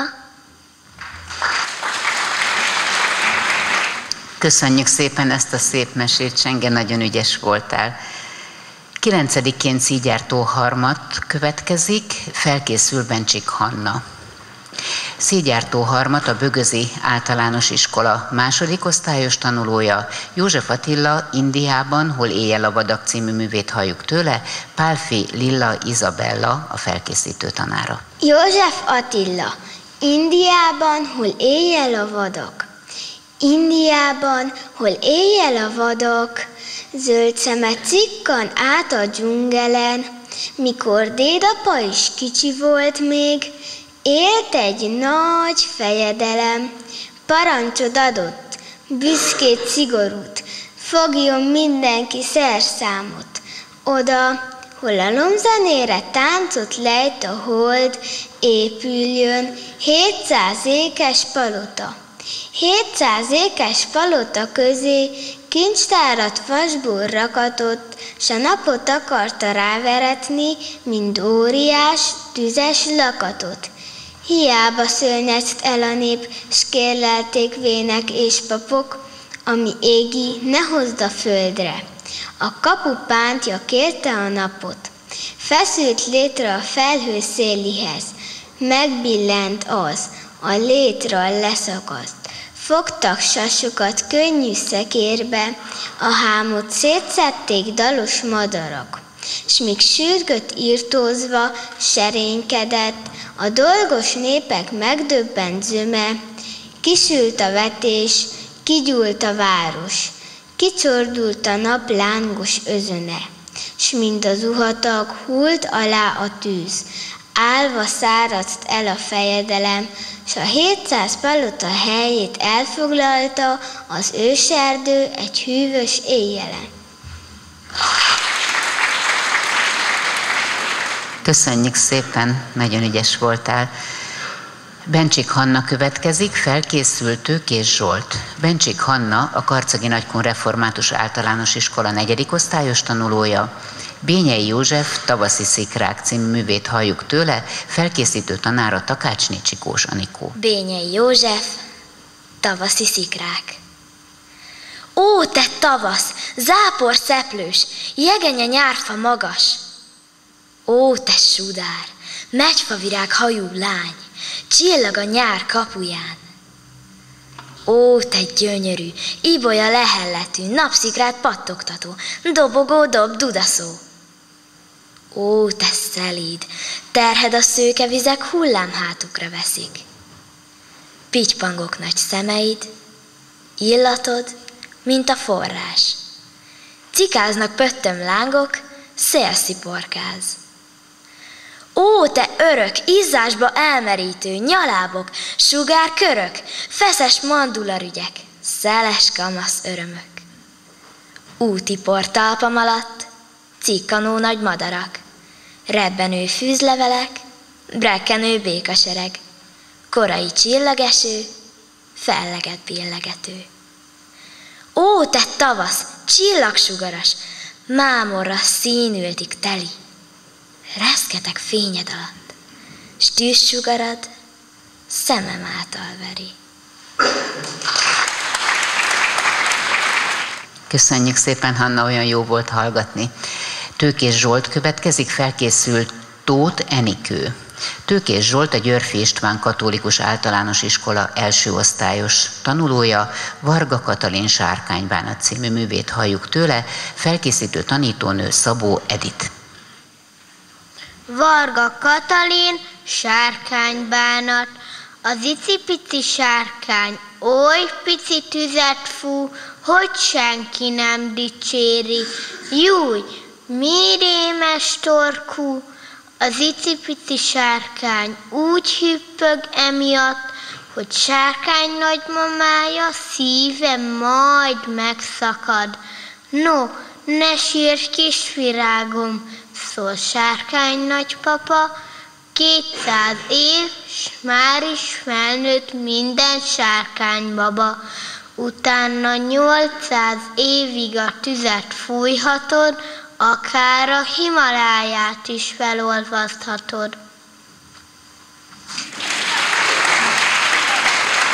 Köszönjük szépen! Most pedig Tóth Enikő következik, 13. versenyzőnk pedig Tóth Hargita. Tóth Enikő a Karcagi Általános Iskola és Alapfokú Művészeti Iskola Kiskulcsosi tagintézményének negyedik osztályos tanulója, Pliaszovszki Bogárka, aki meg akart nőni című művét halljuk tőle, felkészítő tanítónő Cserés Gabriella. Mihail Plackovszki, Bogárka, aki meg akar nőni. Senki se csodálkozzon azon, hogy ez az egész mese a Pirinyó bogárkáról szól. Igen, egy közönséges bogárkáról, aki olyan aprócska, hogy még nevet adni is elfelejtettek neki. No de, miről nevezetes ez a bogárka? Hamarosan kiderül, de először is az álmokról kell szólnunk hiszen mindenkinek van egy álma, ugye? Például Csíkoska a tigris nagyon szeretne repülni, de nincsen szárnya. Trikó, a zebra pedig már unja, hogy olyan csíkos, mint egy matrac. Éjszakánként arról álmodik, hogy megbarnul, és a tükör előtt gyönyörkedik új színében. Bogárkának is volt egy álma. Ő arról álmodott, hogy egy szép napon majd megnő, és pindulkából óriásivá változik. Nem tudod, melyik gyógyszertárban árusítják a növesztő varázs tablettákat? Kérdezte egyszer, ráérünk méget a csigát. Nem tudom, válaszolta a csiga. De mondd, olyan nagyon kell neked az a varázs tabletta. De még mennyire, sóhajtott bogárka. Úgy szeretnék nagy lenni, ha nem is olyan nagy, mint az elefánt, de legalább akkora, mint az orszarvú. És mi hasznod lenne belőle? Mit nem mondasz, ráérünk még? Előre felfigyelnének rám, és előre köszönnének nekem. Talán ezen múlna a boldogság? Csóválta meg szalvacskáit a csiga. Hmm, ki tudja, hogy mint múlik, de ha úgy sem tudod, hol lehet varázstablettákat szerezni, akkor ne is beszéljünk róla. Így aztán el is váltak egymástól. Nem sokkal később a következő történt. Dob-dob az orszarvú 40 tojásból tükör tojás sütött magának, és bekapcsolva felejtette a villanyfőzőt. Természetesen mindenki tudja, hogy ilyenkor mi történik. Kigyullad a ház, megijed dob-dob az orszarvú, és elkezdett segítségért kiabálni. Erre aztán az állatok odaszaladtak. Csupafog, a krokodil, hosszú gallér, a zsiráf, csíkoska, a tigris, és még sokan mások. Oda szaladtak, és csak álltak. Álltak, és bámultak. Az állatok bámultak, a ház pedig égett. A ház égett, és oltani nem oltotta senki. Senki sem oltotta a tüzet, mert mindenki elveszítette a fejét. Csak bogárka nem, elrepült, hogy segítséget hívjon. Leereszkedett a tűztoronyra, és látja, hogy a tűzoltó elefántok ott üldögélnek, fejükön a résisakkal, és dominóznak. De még a fülük botját sem mozdítják. Tűz van, zümmögte bogárka. Segítség, segítség! Hol van tűz? Még! Kapták fel a fejüket a tűzoltók. Dobdobnak az orszarvúnak lángokban áll a háza. Ne vesztegessétek az időt. Úgy sajnálom szegény dobdobot, mondta könnyes szemmel bogárka. No, hátukra kaptak az elefántok egy nagy vizes hordót, és a helyszínre robogtak. Kivonszolták dobdobot az égő házból, és ormányukból vizet zúdítottak a lángokra, eloltották a tüzet.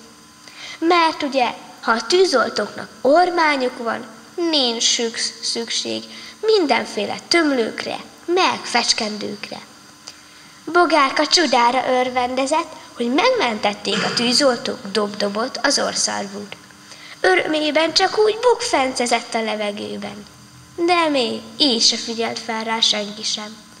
Arra sem jöttek rá, hogy ő, Bogárka volt az, aki kihívta a tűzoltókat.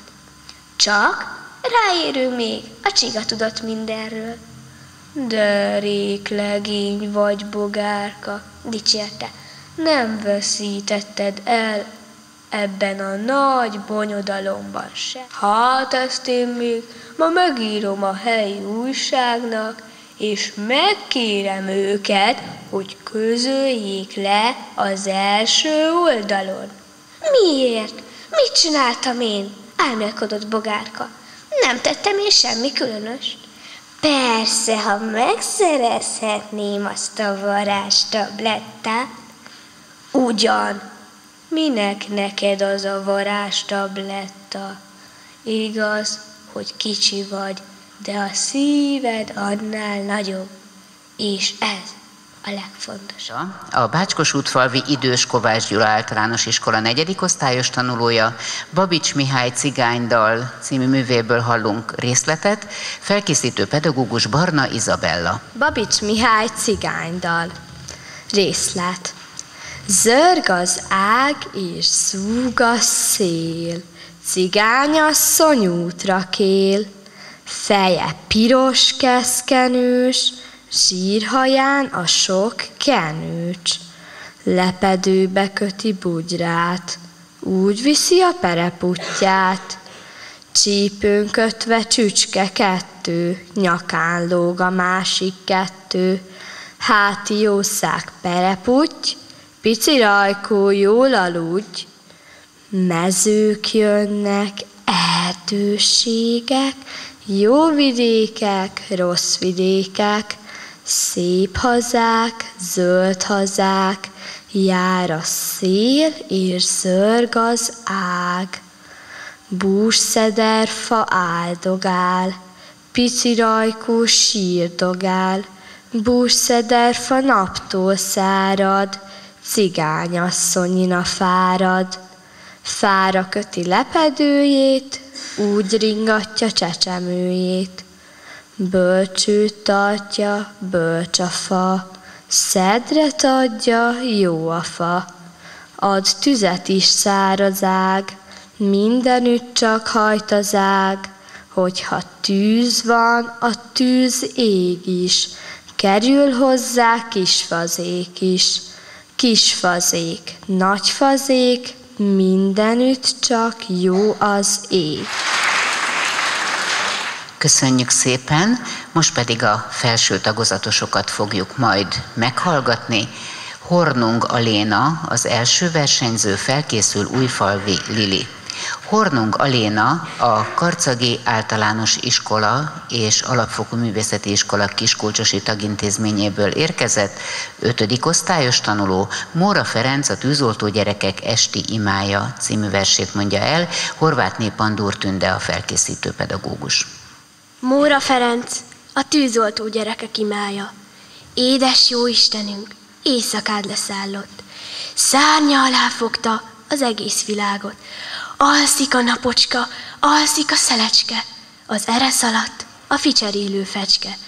Alszik a sarumban a nádparipa is, lehúnyt a szemeit a bodolbaba is, alszik meseország, alszik falu, város, szerte szét az álompillangója száldos. Falunak, városnak, pihentető álmán, csak apukánk az csendes őrszobáján. Barázdás homlokát a tenyerébe hajtja, gondolatban a mi arcánkat simogatja. Jaj, de hogy riad fel, ha harangkondul, ha tűzmuskát lít látni a toronyból, jaj, hogy kell sietnie mindent elfeledni, a halál szélén áldott harcra kelni.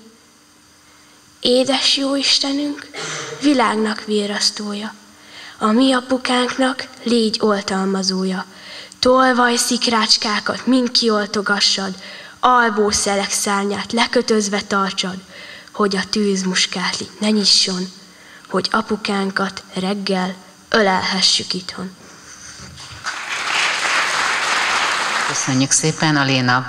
Újfalvi Lilit kérem színpadra felkészül Kovács Zita Jenny.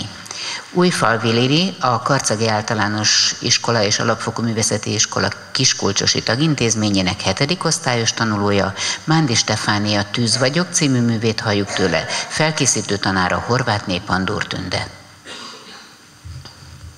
Mándi Stefánia, tűz vagyok. Tűz vagyok. Ragyogó taviláng, legyőzlek kisvilág, nagyvilág. Tűz vagyok, lobogó fákja, felkúszom a lombos fákra. Sápadj el napfényte aranyló, csődöröm négy szárnyú aranyló. Felszántja szétporló egedet, csillagot legel és felleget.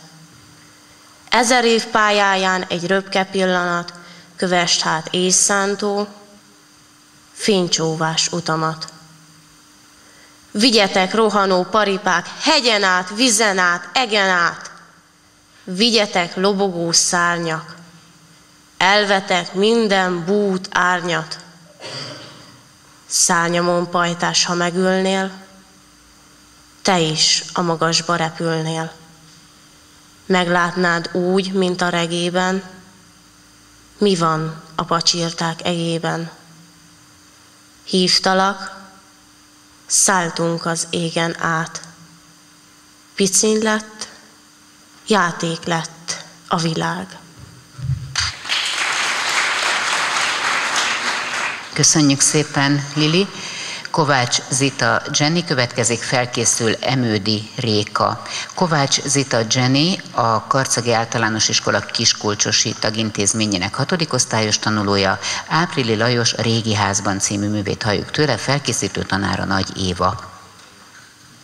Áprili Lajos a Régi Házban, Rózsikának. Akkor több titkú volt az erdő, több csillagot vetett az ég. Üllőre sújtó kalapástól harangozott a falu vég. Az éresapja műhelyéből csengett ki az a mély zene. Én most is hallom, mintha messze a végtelenből csengene. Előbb csak a kis kalapács szólt, a mester indított vele. Gondult a középső, és utána a nagyverő zúgott bele. Künn nyugtalan lovak nyihogtak a patkoló fedél alatt. A perzsát lóköröm szagával a szél a szomszédig szaladt. S emlékszik a nagy tűzre, akkor minden kalapács hallgatott. Sikoltó néprant az utcán, s félrevert harang jajgatott. Minket a temetőbe vittek. Ott őriztük a holmikat s bámultuk a szelekben ingó, fellegig érő lánkirat. Szomszédunk volt a temetőkert, bizalmasunk, s. De akkor rettentett a csendje, s a borzongás játszott velünk. Hullatta sűrűn ránk a kormot, egy láthatatlan nagy szita, s én így bíztattam gyermek észszel, ne féljünk, Rózsika, emlékdalol a régi házban. A szívem csorduló kehely. Nem szól a nagy üllő alattunk, rég hallgat a kovács műhely. Alszik az ereskarú mester, s alszik a fiatal segét. Csak pár öreg szerszám beszéli a zengő múlt történetét. Ülünk a temető tövében, Kong a harang, zúg a világ, korom kering a levegőben, s a lobogás szemünkbe vág. Körös körül a bíbor égaj, egy óriás tűzkarika. Az áradó világ zúgáson keresztül cseng-e bíztatásom a régi vészből, Rózsika,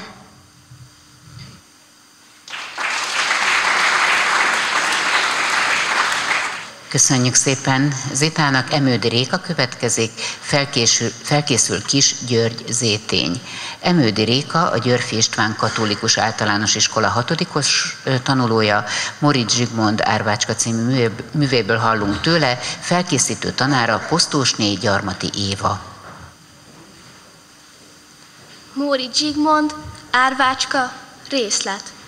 Szépen kinyitotta a kis ajtót, bevitte a kosarat, de az olyan nehéz volt, hogy a kaputól az ajtóig kétszer is le kellett tenni pihenni. No már itt vagy te? Itt. Csuda, hogy itt vagy. De csak boldogan nézett. Nem merte megmondani, hogy azt szeretné tudni, itt volt-e már a Jézuska, mert azt hitte kikap, és csak hallgatott, leskelődött, hogy jön-e már. Egyszer csak azt mondja a verőmútér, eredj ki, nem szeretem, ha itt vagy. Ki kellett neki menni az udvarra, és ott kellett neki ácsorogni a sötétben. Nagyon szomorú lett, meg a szél is fújt. Lassan kinyitotta a kiskamra altaját, bement a szél elől. Ott megkereste a kisgyertyát, meggyújtotta, és imádkozott az édesanyjához. Édesanyám, mondd meg Jézuskának, küldjön nekem valami szép ajándékot, mert nincsen, aki nekem adjon mert én csak egy kis állami vagyok, és nehéz volt a kosár, pedig egy jó ember segített hozni. Más nem tudott mondani, csak nézte, hogy ég a kis gyertya lángja, és libben, libben, mint a temetőben, ahol a szél libbengeti. Sokáig volt itt, már itt is nagyon hideg volt, fázott. Akkor hallotta a kiáltást, hogy hé, hol vagy? Hé! Hamar kiment a kamarából, és a konyhába sietett, és égve adta az édesanyja halotti gyertyáját, ha hívják. Miért nem szólsz? Mennyit kell utána kiabálni? Nem felelt, csak ment be. Most megvacsorázhatsz és lefekhetsz. Erre nagyon elbámult, megijedt. Még én hozzám nem is jött a Jézuska. Ezt meghallotta Diti, és nagyon kezdett kacagni. Egy rüheshez menjen a Jézuska. Már itt volt a Jézuska, nekem hozott két szép ruhát, egy pár cipőt, három pár fehér neműt, egy kabátot, egy szalagot, és sok-sok cukrot, még többet, mint a Mikulás. Az, az semmi, amit a Mikulás tud. Jézuska az igazi, ez a kunst. Nekem mit hozott? Mit hozott volna egy rongyos államinak? A kis árvácska elkedvetlenedett. Akkor valaki kinyitotta az ajtót, és amit odabent látott, attól még a szeme is elkáprázott. Ott volt az asztal közepén egy csodálatos ezüstfa, csupa fehér és csillogó tarka szépség. És égtek rajta a villanygyertyák, mert a gépész felszerelte villanygyertyákkal, hogy nekik ingyen volt a villany. Mit bámulsz te marha? Hát még nem láttál ilyet? Árvácska elkezdett sírni, és azt mondta, még nem láttam. Erre mindenki nagyon elkezdett kacagni, hogy milyen hülye. De már akkor maga sem tudta, hogy merte, bement a szobába hívás nélkül, sírva állott a fa alatt, és csak azt érezte, hogy neki sose lesz ilyenje. Eredj ki innen, nem szabad a karácsonyfa alatt sírni, mondta a mutér. Eredj, feküdj le! De én szeretném még megvárni a jó Jézuskát. Nekem is hoz.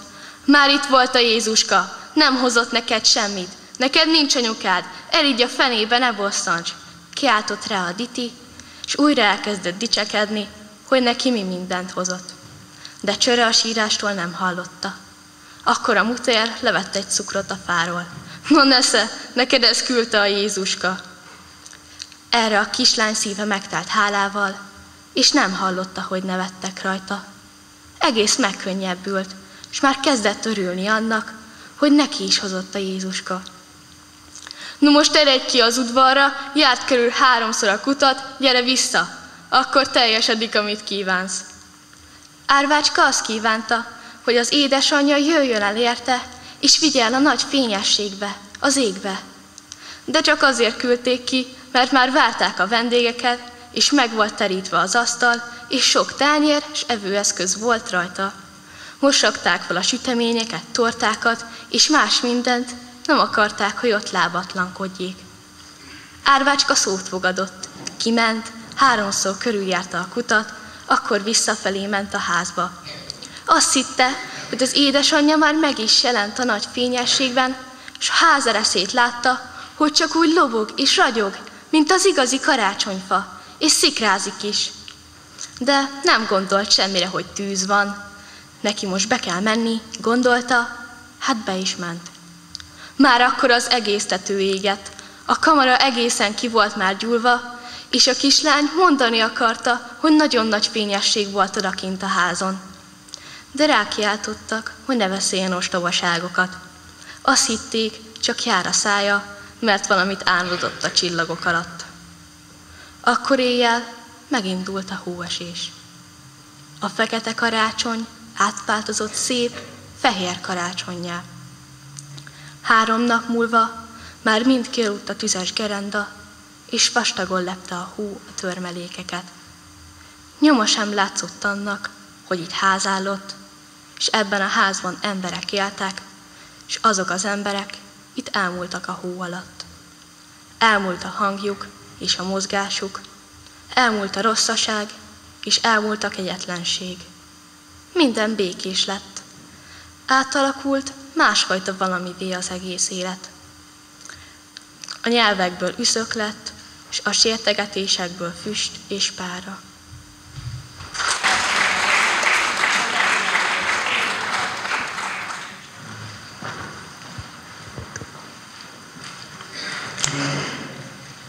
Nehéz megszólalni ezután az előadás után.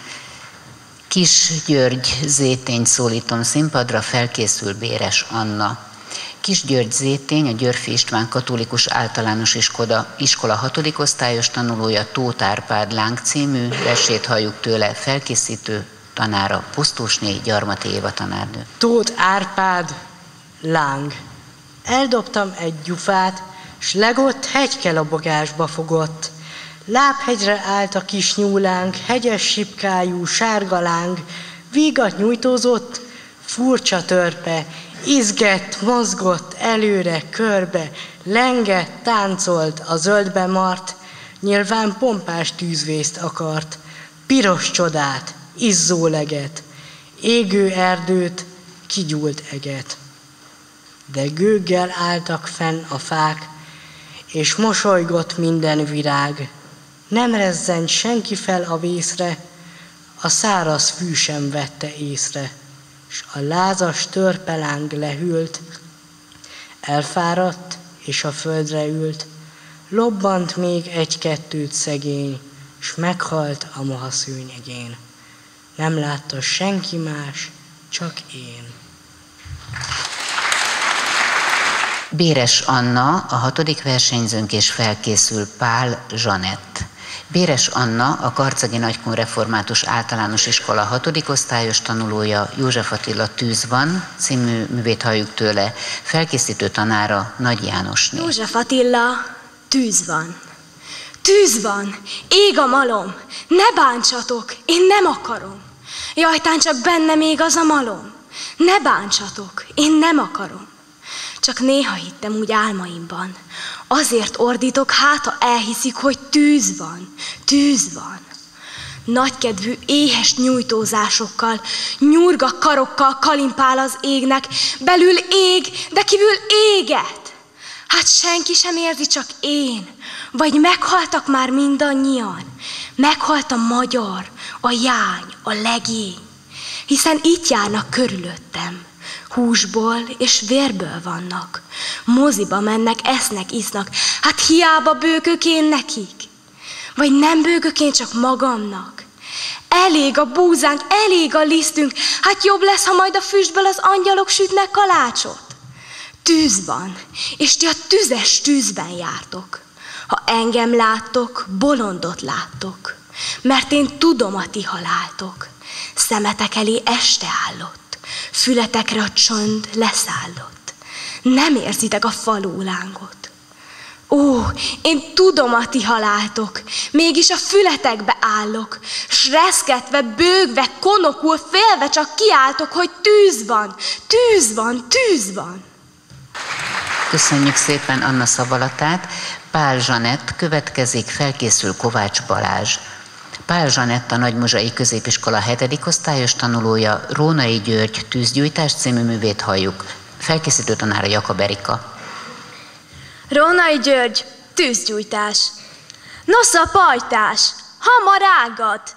Ide kettőt, oda hármat.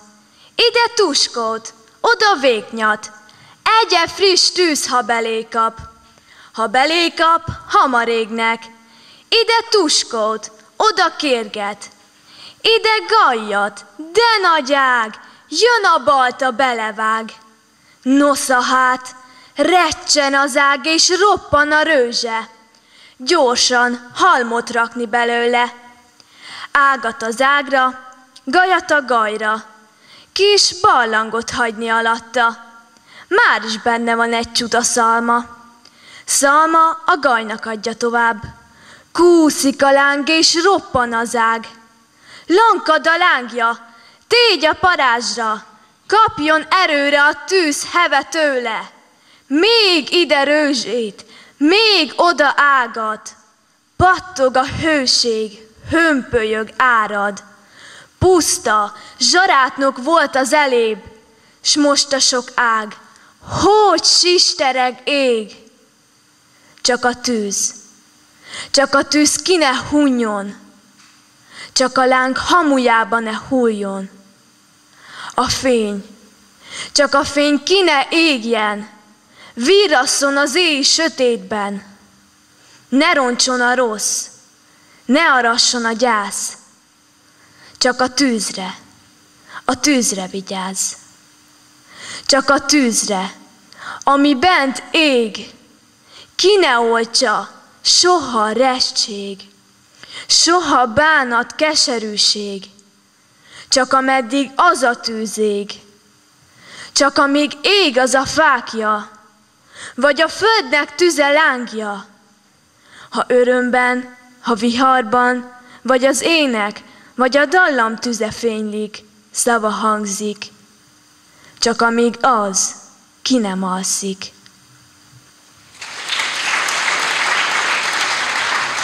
Köszönjük szépen Zsanett szavalatát. Kovács Balázs következik, felkészül bíró Lilla Édua. Kovács Balázs a Györfi István Katolikus Általános Iskola 6. osztályos tanulója, Várnai Zseni egy szál gyufa című történetét, meséjét hallhatjuk az előadásában. Felkészítő tanára Posztósné Gyarmati Éva. Várnai Zseni, egy szál gyufa. Hol volt, hol nem volt, talán az óperenciás tengeren is túl, vagy talán közelebb, volt egyszer egy gyufas katuja. Nem volt rajta semmi, de semmi különös. Egészen közönséges gyufas katuja volt, akár a többi. Ebben a gyufas katujában száz szál gyufa szorongott. Száz közönséges kis gyufa, olyan, amivel lámpát gyújtanak este, vagy amilyennel pipára gyújtanak öreg apóék. 99 kis gyufa egészen egyforma volt, a századikat, hogy, hogy nem, valamivel vastagabbra formálták a gyárban. A száz kis gyufa tudta, hogy el kell légnie. Mindegyik tudta, hogy egy napon lángra kell lobbannia, és lobognia kell egy percig, vagy egy pillanatig, azután hamuvá válva elmúlni örökre. A száz kis gyufa szerette az életet. Mindegyik szerette a maga külön kis életét ott, a gyufas katujában. Bár nem sütött be a nap, és a hely is nagyon szűk volt, mégis mindegyik félt napvilágra kerülni, mert ez számukra a halált jelentett. Egy nap valaki fölnyitotta a gyufas katuját, egy kéz nyúlt bele, durva, goromba kéz, és kivett belőle egy szál gyufát, azután becsukta. A 99 kis gyufa visszafolytott lélegzettel figyelt.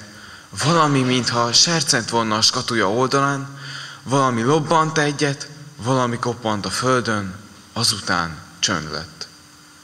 A 99 kis gyufa szívét iszonyú félelem szorította össze. Csöndben, mozdulatlanul lapoltak meg a gyufaskatuja alján, de mikor egy kéz ismét kinyitotta, borzasztó élet-halálharc kerekedett. A kis gyufák harcoltak az életért. Mindegyik a maga külön kis életéért. Mindegyik igyekezett előre tolni a másikat, mindegyik utolsónak akart maradni. A nagyfejű gyufa, amelyiket nagyobbra formálták a gyárban, teljes erejével lökte előbbre a többit, és sikerült neki megbújnia a skatuja fenekén. A kéz megint csak kivette egy gyufát, és újra sercent a skatuja oldalán, újra lobbant, újra roppant valami, és a kis gyufák újra csak rémüldöztek. Így ment ez 99-szer. Már minden égtek a kis gyufák, egyedül ő lapolt meg a skatuja alján, a nagyfejű gyufa. A félelemtől megroskadva gubbasztott ott, egyedül, és 99 kis elégett társára gondolt.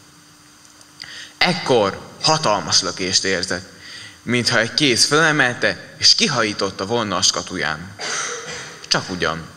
A skatuja gazdája azt hívén, hogy az már üres, kidobta az utcára.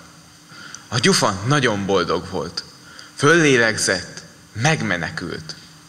Nagyon szépnek találta most az életet, magát pedig okosnak, kiválónak, és a többinél sokkal különnek. Amint így magában elmélkedett, megerett az eső. Előbb csak pár csepp koppant a skatuja fedelén, de később, mint a sajtárból zúdították volna, úgy zuhogott. A skatuja teljesen elázott. Később azonban mégiscsak kisütött a nap, és az elázott gyufaszárat megszárította. A gyufába visszatért az elázott önérzet, és újból diadalmas örömmel örült az életnek. Egy kisfiú ment arra, rugott egyet a skatuján, aztán felemelte. Nini, gyufa is van benne. Nagy boldogan odasercentette a skatuja oldalához egyszer, kétszer, háromszor. Hiába. A gyufa nem gyulladt meg. Elázott. A kisfiú haragosan hajította ki az út közepére. Rossz, nem ér semmit. Azután tovább ment. A gyufa örült is, meg nem is. Örült, hogy újra megmenekült, szinte már nem olyan zavartalanul, mint eddig. Valami keserűséget érzett, valami fájdalomfélét. Az ő kis gyufa eszével nem tudta bizonyosan, hogy mit, de érezte, hogy ez még sincs rendjén. És amint ott feküdt, csak feküdt egyedül, elhagyatva az út közepén, a sárban, egyszerre hatalmas vágyat érzett. Szeretett volna égni, ha csak egy rövidke percig is, de égni, lobogni, világítani. Megérezte, hogy haszontalanul, hiába élt, és irigykedve gondolt 99 kis elégett társára, akik, legalább, akik, akik egy szemvillantásra, de legalább bevilágítottak a sötétségbe, és kicsi életük nem múlt el hiába. Most már szívesen elégett volna saját életének mágia tüzén, de késő volt. Nem lehetett. Arra ment egy szekér, keresztül ment rajta, és belegyúrta a sárba. Köszönjük szépen Balázs előadását. Kilencedik versenyzőn következik Bíró Lilla Édua, és felkészül Víg Csenge. Bíró Lilla Édua a Karcagi Nagykun Református Általános Iskola 5. osztályos tanulója, Móra Ferenc a Didergő király című meséjét halljuk tőle, Nagy Jánosné a felkészítő pedagógus. Móra Ferenc, Didergő király. Mese-mese mátka, pillangós határba, volt egyszer egy király, ne keresd országba. Neve nincs királynak, nagy volt a bánata, csupa síralom volt éjjelen nappala. Hideg lelte rázta, fázott keze lába, sűrű könnye pergett fehér szakállára. Akármit csinálok, reszketek és fázok, hiába takargat aranyos palástom. Aki segít rajtam, koronám, kenyerem, tőle nem sajnálom, véle megfelezem. Százegy kengyelfutó, százkét fellész alatt. Tökszárdudát fújtak minden ablak alatt. Ki tud orvosságot a király bajáról? Hol az a bölcs ember, aki jót tanácsol? Adott is ezer bölcs, ezer egy tanácsot, de együtt se ért az egy falat kalácsot. Didergő királynak csak nem lett melege, majd megvette szegényt az Isten hidege. Körmét fogatta, keserűn köhintett, bölcs doktorainak bosszúsan legyintett. Bölcsekkel az időt ne lopjuk, azt mondom, hívjátok elő az udvari bolondom. Hallod-e te bolond?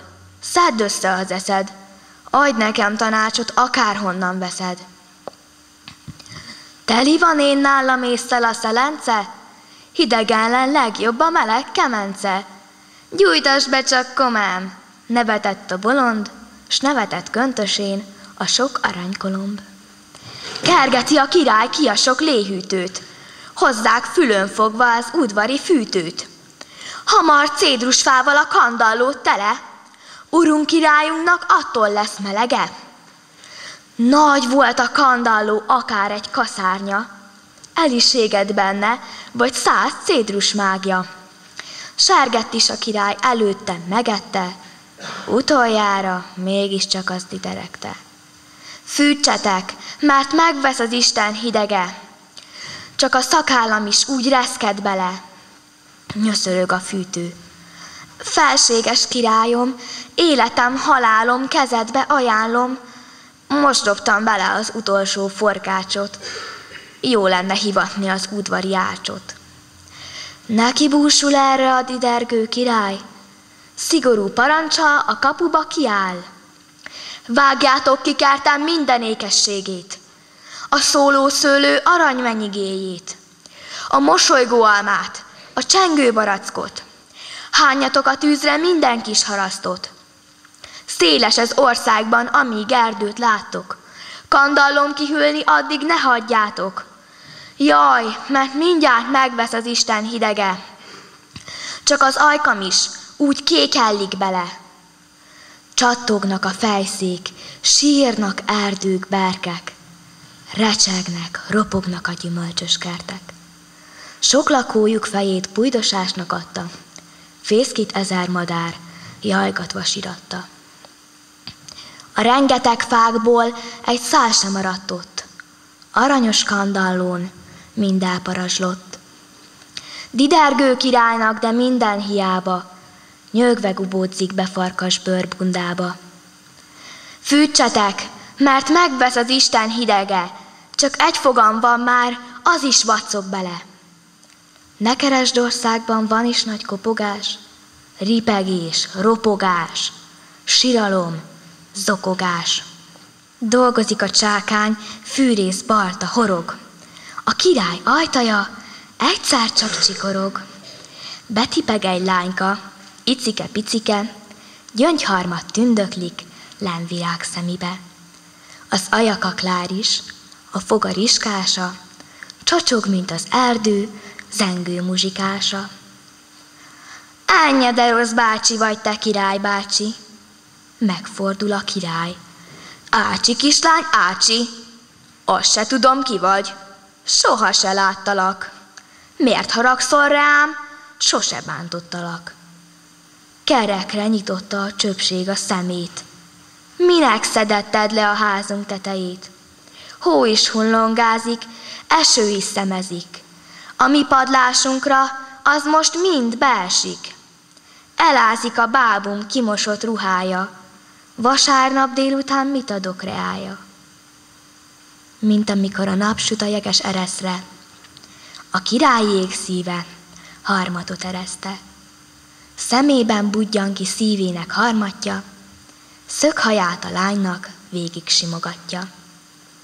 Ne félj, a babádat ruhátlan nem hagyom, bíbor köntösömet felteraboltatom. Bársony rokolyája, saján főkötője, lesz ezüstkötője, aranycipellője. Most már meg a kislány mondta azt, hogy Ácsi, mégiscsak jó bácsi vagy te, király bácsi. Örömében ugrált, tapsikolt, nevetett, s Didergő királynak nyomban melege lett. A tükörablakot sarokra nyitotta, városa lakóit összekúrjantotta. Olyan meleg van itt, hogy sok ez egy magamnak. Juttatok belőle, aki fázik, annak. Tódult is nyomban a sok szegény ember, a márványtéglákon nyűsgött, mint a tenger. Ki is szorult tőlük a király a konyhára, rájuk is parancsolt mindjárt a kuktákra. Asztalt terigetni, ökröt sütögetni, fussatok a hordót csapra ütögetni. Így kedves vendég még nem járt soha nálam, mint a saját népem nagy meseországban. Tizedik versenyzőnk Víg következik, felkészül Lak Ádám. Víg a Karcagi Általános Iskola Kiskulcsosi tagintézményéből jött, hatodik osztályos tanuló, Pliaszkovszki Bogárka, aki meg akart nőni című művét adja elő, és felkészítő tanára Nagy Éva. Mihály Pliaszkovszki Bogárka, aki meg akar nőni. Senki se csodálkozzon azon, hogy ez az egész mese a Pirinyó bogárkáról szól. Igen, egy közönséges bogárkáról, aki olyan aprócska, hogy még nevet adni is elfelejtettek neki. No, de miről nevezetes ez a bogárka? Hamarosan kiderül. De először az álmokról kell szólnunk. Hiszen mindenkinek van egy álma, ugye? Például Csíkoska, a tigris nagyon szeretne repülni, de nincs szárnya. Trikó, a zebra, pedig már unja, hogy olyan csíkos, mint egy matrac. Éjszakánként arról álmodik, hogy megbarnult, és a tükör előtt gyönyörködik új színében. Bogárkának is volt egy álma. Ő arról álmodott, hogy egy szép napon majd megnő, és pindurkából óriásivá változik. Nem tudod, melyik gyógyszertárban árusítják a növesztő varázstablettákat? Kérdezte egyszer ráérünk még a csigát. Nem tudom, felelte a csiga. De mondd, olyan nagyon kell neked ez a varázstabletta. De még mennyire? Sóhajtott bogárka. Úgy szeretnék nagy lenni, ha nem is olyan nagy, mint az elefánt, de legalább akkora, mint az orszarvú. És mi hasznod lenne belőle? Mit nem mondasz ráérünk még? Hát rögtön felfigyelnének rám. Előre köszönnének nekem. Talán ezen múlna a boldogság. Csóválta meg szarvacskáit, ráérünk még a csiga. Ki tudja, mi múlik, gondolkodott el Bagárka, de ha úgysem tudod, hol lehet varázstablettákat kapni, inkább ne is beszéljünk róla. így aztán el is váltak egymástól. Nem sokkal később a következő történt. Dob-dob az orszarvú 40 tojásból tükörtojás sütött magának, és bekapcsolva felállítette a villanyfőzőt. Természetesen mindenki tudja, hogy ilyenkor mi történik. Kigyulladt a ház. Megijedt dob az orszarvú, és elkezdett segítséget kiabálni. Leereszkedett a tűztoronyra, és látja, hogy a tűzoltó elefántok ott üldögélnek fejükön résisakkal, és dominóznak, de még a fülükbotját sem mozdítják. Tűz van, zümmögte Bagárka. Segítség, segítség! Hol van tűz? Még, kapták fel a fejüket a tűzoltók. Dobdobnak az orszarvúnak lángokban áll a háza, ne vesztegessétek az időt, úgy sajnálom szegény dobdobot, mondta könnyes szemmel Bagárka. No, hátukra kaptak az elefántok egy nagy vizes hordót, és a helyszínre robogtak. Kivonszolták dobdobot az égő házból, aztán ormányukból vizet zúdítottak a lángokra, és eloltották a tüzet. Bagárka csodára örvendezett, hogy a tűzoltók megmentették dobdobot az orszarvút. Örömében csak úgy bukfencizett a levegőben, de még így sem figyelt föl rá senki. Arra sem jöttek rá, hogy ő, Bagárka volt az, aki kihívta a tűzoltókat. Csak ráérünk még a csiga tudat mindenről. Derék legény vagy, Bagárka, dicsérte. Nem veszítetted el a fejedet a veszedelemben sem, és megmentetted Dobdob életét, aki majdnem belehalt a tükörtojásba. Én ezt még ma megírom a helyi újságnak, és megkérem őket, hogy közöljék le az első oldalon. Miért? Mit csináltam én? Álmélkodott Bogárka. Nem tettem én semmi különöset. Persze, ha megszerezhetné azt a varázstablettát. Ugyan, minek neked ez a tabletta? mondta ráérő még. Igaz, hogy aprócska vagy, de a szíved annál nagyobb. És ez a legfontosabb. Köszönjük szépen. Lak Ádámot szólítom színpadra, felkészül Mihályi Andrea. Lak Ádám a Bácskos útfalvi idős Kovács Gyula általános iskola hatodik osztályos tanulója, Reményik Sándor Nagy Magyar Télben című versét halljuk az előadásában, felkészítő tanára Éter Pandurcsek Bettina. Reményik Sándor Nagy Magyar Télben. Nagy Magyar Télben picike tüzek a lángotokban bízom.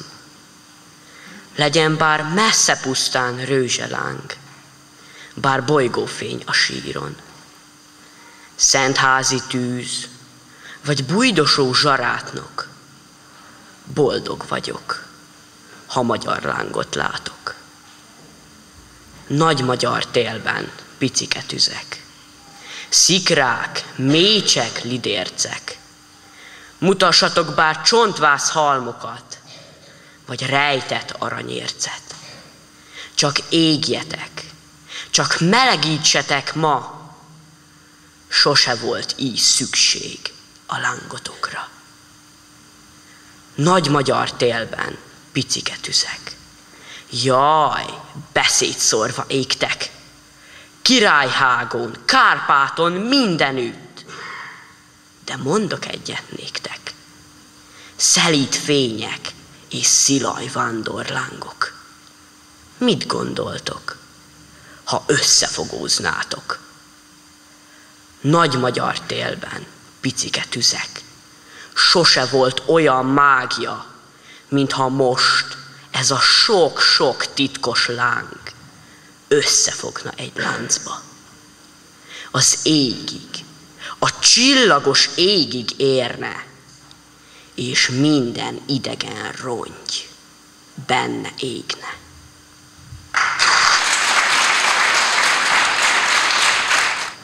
Köszönjük szépen, Ádám, szívünkből szóltál, úgy gondolom. Mihályi Andrea következik, ő a Bögözi Általános Iskola 5. osztályos tanulója, József Attila a Tél című versét mondja el nekünk, felkészítő tanára Balázs Gudor Margit. József Attila, Tél. Valami nagy-nagy tüzet kéne rakni, hogy melegednének az emberek. Ráhányni mindent, ami antik, ócska, csorbát, töröttet, s ami új meg épp. Gyermekjátékot, Ó, boldog fogócska, s rászólni szórva mindent, ami szép. Dalolna forró láng az égig róla, s kezén fogná mindenki földiét, Valami nagy-nagy tüzet kéne rakni, hisz zuzmarás a város, a berek, fagyos kamrák kilincsét felszaggatni és rakni, adjon sok-sok meleget. Azt a tüzet, ó, jaj, meg kéne rakni, hogy fölengednének az emberek. Köszönjük szépen Andinak ezt a szép verset. Hál' Istennek megérkezett Berekfürdőről Kovács Ágota Csenge, aki a Karcegi Nagykun Református Általános Iskola negyedikes tanulója, tehát az alsó tagozatosokhoz visszalapozunk. Ő Pliaszkovszki Bogárka, aki meg akart nőni című művét adja elő nekünk, felkészítő tanára Takácsnyi Csikós Anikó. Gyere Csenge! Mihály Pliaszkovszki Bogárka, aki meg akart nőni. Senki se csodálkozzon azon, hogy ez az egész mese a Pirinyó bogárkáról szól. Igen, egy közönséges bogárkáról, aki olyan aprócska, hogy még nevet adni is elfelejtettek neki. No de, miről nevezetes ez a bogárka? Hamarosan kiderül, de előbb az álmokról kell szólnunk. Hiszen mindenkinek van egy álma, ugye? Például Csíkocska, a tigris nagyon szeretne repülni, de nincs szárnya. Trikó, a zebra, pedig már unja, hogy olyan csíkos, mint egy matrac. Éjszakánként arra álmodik, hogy megbarnult, és a tükör előtt gyönyörködik új színében. Bogárkának is volt egy álma. Ő arról álmodott, hogy egy szép napon majd megnő, és pindurkából óriásivá változik. Nem tudod, hogy melyik gyógyszertárban árusítják a növesztő varázstablettákat? kérdezte egyszer, ráérünk méget, a csigát. Nem tudom, felelte a csiga, de mond, olyan nagyon kell neked az a varázstabletta. De még mennyire? Sóhajtott bogárka. Úgy szeretnék nagy lenni, ha nem is olyan nagy, mint az elefánt, de legalább akkora, mint az orszarvú. És mi hasznod lenne belőle? Mit nem mondasz, ráérünk még? Hát rögtön felfigyelnének rám, előre köszönnének nekem. Talán ezen múlna a boldogság, csóválta meg szarvacskáit, ráérünk még, a csika. Ki tudja, hogy mind múlik, gondolkodott el Bagárka. De úgy sem tudod, hol lehet varázstablettát kapni. Inkább ne is beszéljünk róla. Így aztán el is váltak egymástól. Nem sokkal később a következő történt. Dob-dob az orszarvú 40 tojásból tükörtojás sütött magának, és bekapcsolva felejtette a villanyfőzőt. Természetesen mindenki tudja, hogy ilyenkor mi történik. Kigyullad a ház. Megijedt szegény dob-dob, és elkezdett segítségért kiabálni. Erre aztán odaszaladtak az állatok. Csupa fog, a krokodil, hosszú gallér, a zsiráf, csíkocska, a tigris, és még sokan mások. Oda szaladtak, és csak álltak. Álltak, és bámultak. Az állatok bámultak, a ház pedig égett. A ház égett, oltani, meg nem oltotta senki. Senki sem oltotta a tüzet, mert mindenki elveszítette a fejét. Csak bogárka nem. Elrepült, hogy segítséget hívjon. Leereszkedett a tűzszoronyra, és látjám, hogy a tűzoltó elefántok ott üldögélnek fejükön a részisakkal, és dominóznak, de még a fülük botját sem mozdítják. Tűz van, zimmögte bogárka. Segítség, segítség! Hol van tűz? Még? kapták fel a fejüket a tűzoltók. Dobdobnak az orszarvúnak lángokban áll a háza. Ne vesztegessétek az időt. Úgy sajnálom szegény dobdobot, mondta könnyes szemmel bogárka. No, hátukra kaptak az elefántok egy nagy vizesordót, és a helyszínre robogtak. Kivanszolták dobdobot az égő házból, majd ormányukból vizet zúdítottak a lángokra, és eloltották a tüzet. Mert ugye, ha a tűzoltóknak ormányuk van, nincs szükségük mindenféle tömlőkre, meg fecskendőkre. Bogárka csodára örvendezett, hogy megmentették Dobdob életét. Örömében csak úgy bukfencezett a levegőben. De még így sem figyelt föl rá senki. Arra sem jöttek rá, hogy ő Bogárka volt az, aki kihívta a tűzoltókat. Csak ráérünk még, a ciga tudott mindenről. Derék legény vagy, dicsérte. Nem veszítetted el a fejedet még a nagy veszedelemben sem, és megmentetted Dobdob életét, aki majdnem belehalt a tükörtojásba.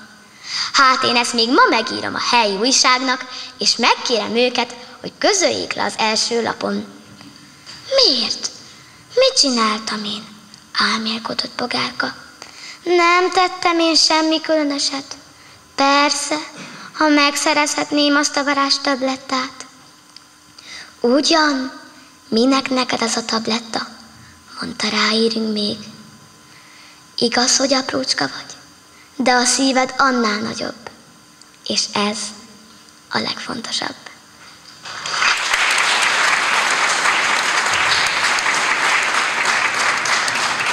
Köszönjük szépen, Csenge. Valóban ez a legfontosabb, sokszor elhangzott, de véssük mi is fejünkbe. A középiskolások korosztályában két versenyzés, két nevezés érkezett. Őket fogjuk meghallgatni, elsőként Molnár Beatrixot, őt követően pedig Vetró Viktort. Molnár Beatrix a Nagymuzsai Középiskola 11-es tanulója, Vörös Sándor Szent Flórián Kantáta című művét halljuk előadásában, felkészítő tanára Jakab Erika. Vörös Sándor, Szent Flórián Kantáta. Hős Flórián, a tűzoltók vértanú szentje. Tűznek, víznek, vad villámnak szelidítője. Nórikumnak szülötte, bajvívóknak védelme. Ad áldásod tűzcsatában vitézeidre. Új zászlódon hősi lelked szent igéje él, megmenteni tűztől, víztől mindazt, ami él. Az Istennek dicsőség, az embernek segítség. Áldáztusák áldozatát áldja meg az ég. Lelkünk mélyén itt búvik még a vörös kakas. Háborgunk mi testvértelen, mint dongó méghas. Magyar földön új átok. Van munkátok, olcsátok, Pannónia vad tüzeit ti strázsáljátok. Égő házban, lángban, Tűzben egy gyermek sikolt. Jön Flórián seregével, s szörnyű tüzet olt.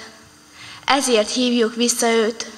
Fékezze a nyers erőt, adjon erőt, bátorságot a csaták előtt.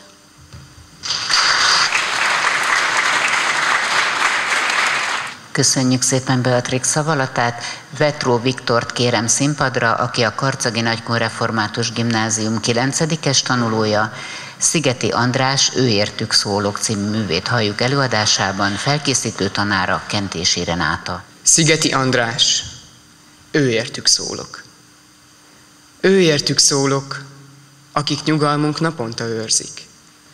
Kik szúnyadó parásban is otthonunkat védik kiknek barát a tűz, de ha támad orvul, kezük, lábuk, karjuk vészjóslóan mozdul. Ő értük szólok, kik a poklot is megjárják. A tomboló elemet kalitkába zárják. Szembenéznek élettel, halállal. Eszelős kártyapartit vívnak a pusztulással. Mi hajtja őket? Talán a szenvedély? Az emberféltés, és az a remény, hogy égboltunk mindig tiszta marad. Az önkéntes szolgálat, a hivatás tudat. Adassék hát nekik most köszönet, hisz azért hajszol mindig a lelki ismeret, mert időnk sincs soha megköszönni, hogy képesek értünk akár tűzbe menni.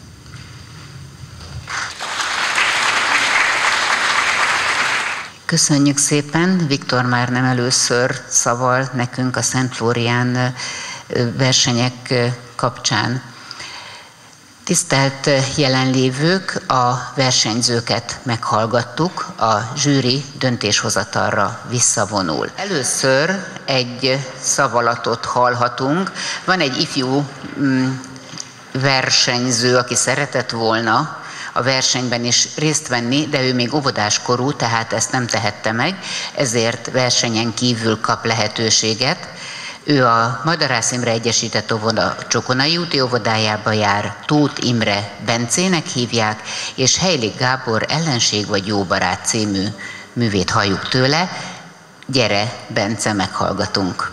Heilig Gábor ellenség és jó barát, erdőt pusztít, házat rombolt, mindent eléget. Ha így nézzük, én kijelentem a tűz ellenséget. Ha így nézzük, én kijelentem a tűz ellenséget. Meleget ad és világít, megfőzi a kaját. Ha így nézzük, én kijelentem, a tűz jó barát. Ha így nézzük, én kijelentem, a tűz jó barát.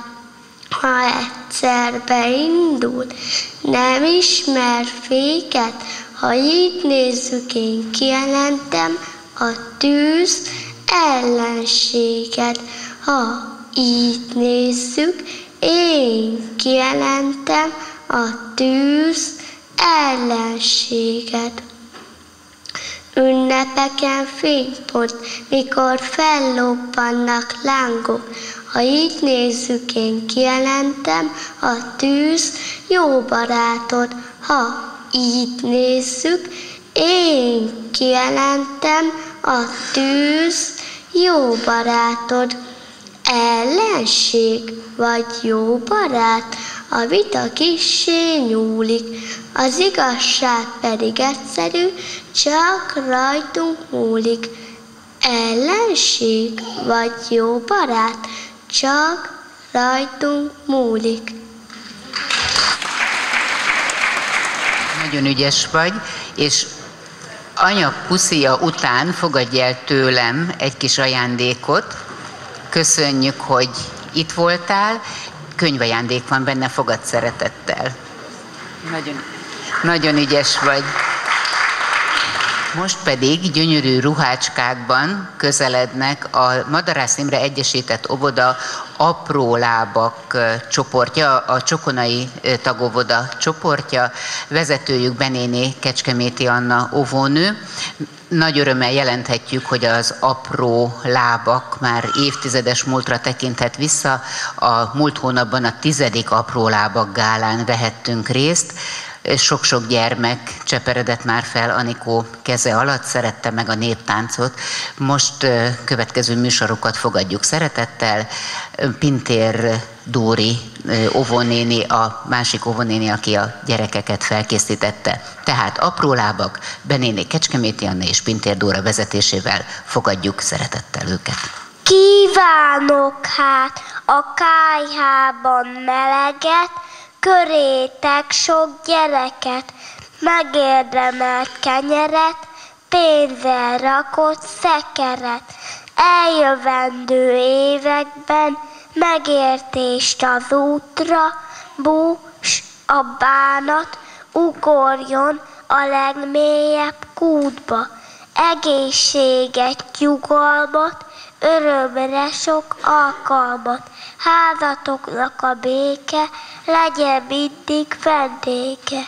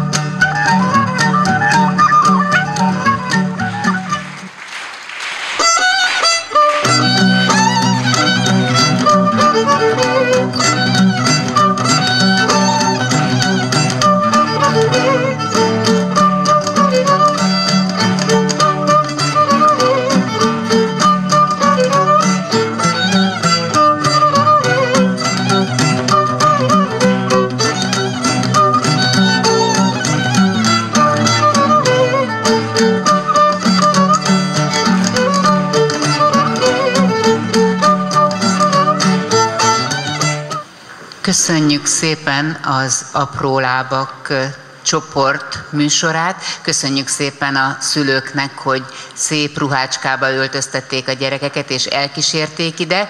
És köszönjük szépen Benéni Kecskeméti Anikó óvonőnek és Pintér Dórának a felkészítést. És kérlek Anikó, hogy fáradj ide, szeretnénk egy kis csokival kedveskedni nektek. Kedves jelenlévők, mindenki izgatottan várja a zsűri döntését, de még egy kicsit fokozzuk a feszültséget, hiszen a zsűri elnöke Pámer Csilla egy ajándékműsorral készült nekünk, fogadjuk őt szeretettel. Először is köszönöm, hogy itt lehetek, és hogy itt lehettem ma.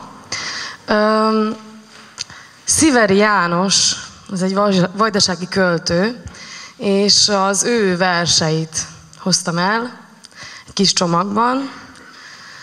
Nem tudom, hogy mennyire hallottak róla, vagy hallottatok róla. Azért is hoztam őt el, hogy így megismertessem az itteni közönséggel. És mi szoktunk ilyen verses esteket rendezni, és azoknak a keretén belül adtuk el, elő az ő verseit, és ebből ragadtam ki egy verset és egy dalt. Úgyhogy fogadjátok szeretettel. Először a dalt eléneklem, és aztán egy kis vers. Diadal. a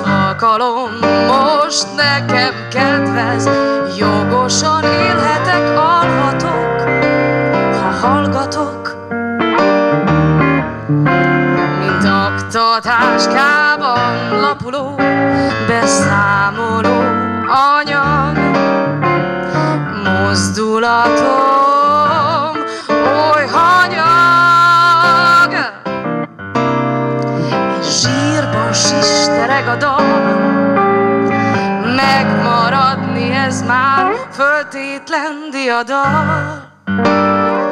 Föltétlen diadal. Megmaradni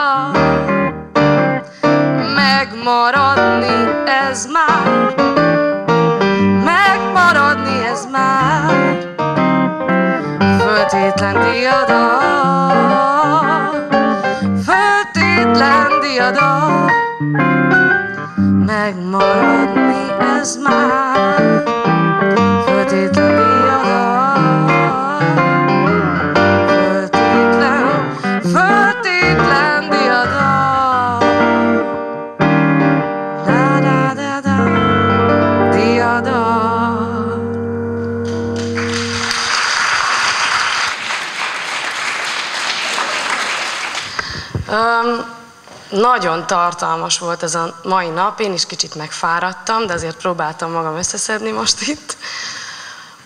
Nekem nagyon nagy öröm azt látni, hogy ilyen sok embert érdekel még mindig a vers, amikor ebben a rohanó világban, ahogy elhangzott, ez egy nagyon nagy öröm volt számomra. Nagyon-nagyon erős volt a mezőny, Tényleg, tehát voltak viták, nem nagyok, de azért aztán megláttuk, hogy 45 percig gondolkodtunk, és az mondjuk nem kevés idő. A másik nagyon nagy öröm, hogy a vezetőség is ilyen nagy hangsúlyt fektet erre a versenyre, hogy fontosnak tartja azt, hogy a versen és a költészettel, a művészetekkel igenis foglalkozni kell. Sokan ezt nem tartják már annyira szem előtt, és nem figyelnek erre igazán oda, pedig a, nem csak a, a, tehát a léleknek is kell a táplálék, nem csak az emberi testnek, és nagyon-nagyon sokat lehet ezek, ezek a dolgok által fejlődni. És már ilyen kis korban is, mert ugye nagyon fiatal versenyzők is voltak, nagyon jó fejleszti a képességeket, mind a szövegtanulás, az előadóművészet, és a, az erkölcsi esztétikai értékeket is növeli, ami szerintem nagyon fontos, hogy meg tudjuk különböztetni az értékeket minél előbb, és hogy na, idősebb korban is már ugye majd ők reméljük, hogy nem a, a silányabb dolgokat részesítik előbb, előnyben, hanem igenis odafigyelnek a, a, a nagyon esztétikai és erkölcsi értékekre, amiket ezek a dolgok, ezek a, ezeknek a nagy vagy elfeledett, vagy méltán ünnepelt, vagy méltatlanul nem ünnepelt költőknek a, a versei és a prózáinak az olvasása által fejlődik ki, és ez, ez nagyon fontos szerintem. Köszönöm szépen, hogy itt lehettem, és azt, annak is nagyon örülök, hogy hogy a felkészítő tanárok is vették maguknak a, az erőt, energiát, időt, és segítettek a, a gyerekeknek abban, hogy, hogy megfelelő formátumban tudjanak ide kiállni, és hogy összeszedjék a bátorságukat, és kiálljanak magukért, és hát a magyarságunkért. És nekem még, most még ezt a picit elmondom, hogy uh, ahhoz képest, hogy én is nem tudom néha, hogy milyen állampolgárnak kell, hogy mondjam magam, Ugye én Szerbiából jöttem, és régebben mindig megzavarodtam, hogy most akkor én szerb vagyok, vagy magyar vagyok, vagy mi vagyok. De hát a nyelvünk az egy. És ilyenkor olyan szépen megértjük egymást. És ez, ez még a művészetnek szerintem egy, egy nagyon fontos pillére, hogy határokon átível, mert hát értjük a nyelvet, és tudjuk.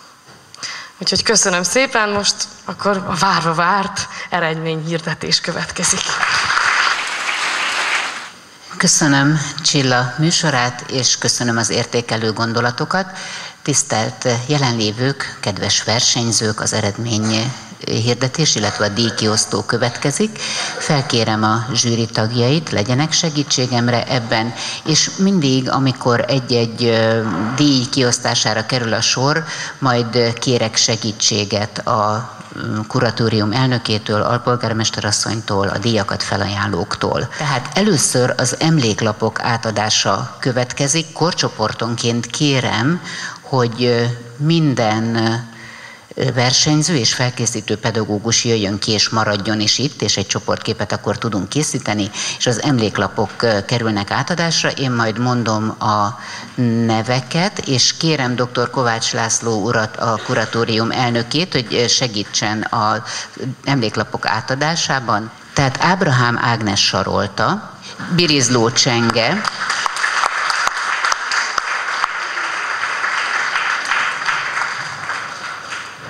Kun Gréta, maradjatok is itt.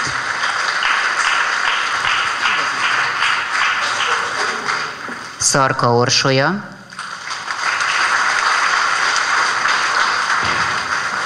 Kovács Ágota Csenge, Bencsik Hanna,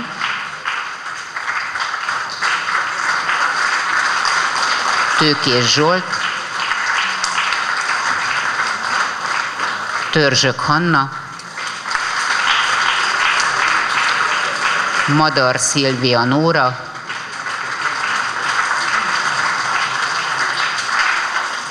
Tóth Enikő, Suba, Vik- Suba Viktória Magdolna, Jakab Csongor,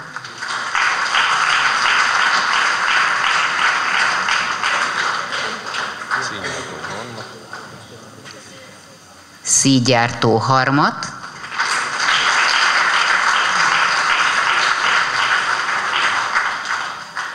és Tóth Hargita. Felkészítő pedagógusoknak köszönjük meg a munkát egy emléklappal. Kurucné Katona Éva tanárnő,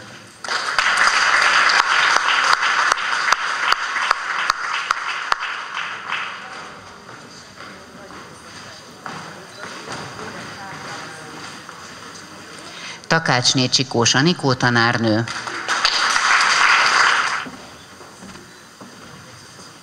Szabó Edit tanárnő,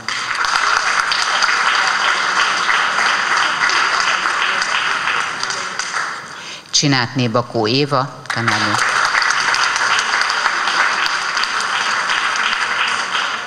Cserés Gabriella tanárnő,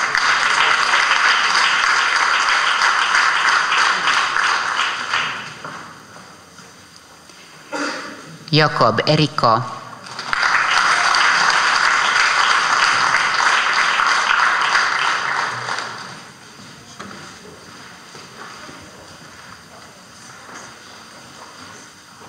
Pálfi Lilla Izabella,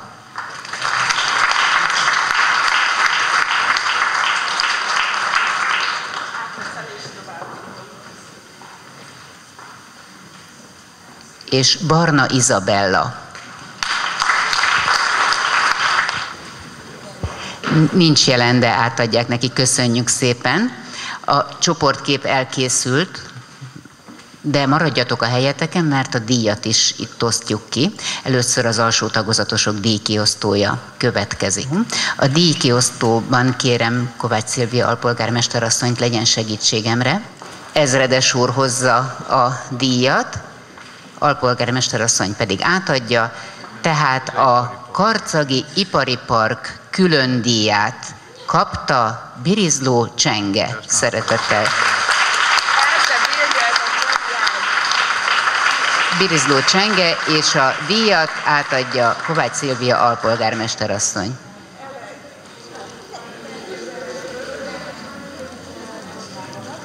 Úgy látom, van benne alkohol is, azt majd apának át kell adni.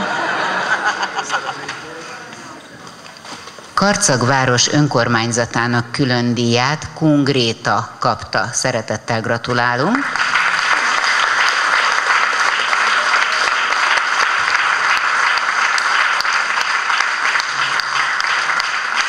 Varga Nándor felajánlását Madar Szilvia Nóra kapja, és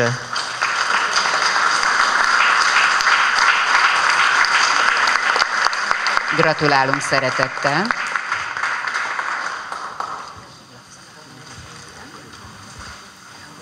Következő külön díjat dr. Kovács László kuratóriumi elnök úr ajánlotta föl, és adja is át Bencsik Hannának. Szeretettel gratulálunk.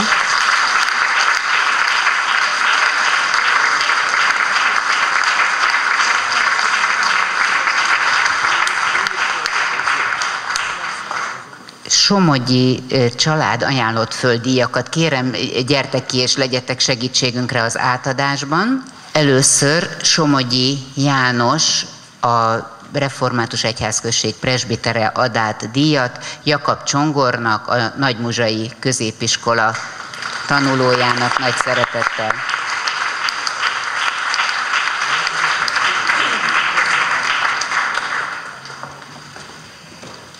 Karcagváros önkormányzatának külön díját Kovács Szilvia alpolgármester asszony adja át, és aki a külön díjat kapja, Szígyártó Harmat.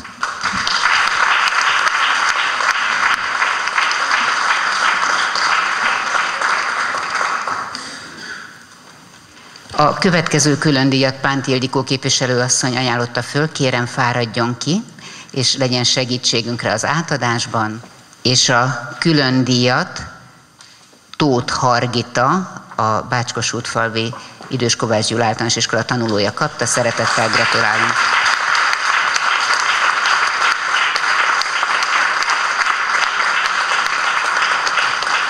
Most pedig következzék a helyezettek értékelése. Harmadik díjat kap, és kérem, hogy ezredes úr legyen segítségünkre a díjak átadásában.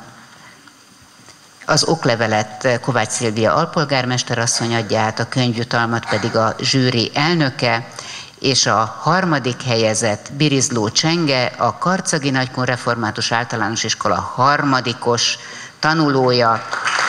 Szeretettel gratulálunk!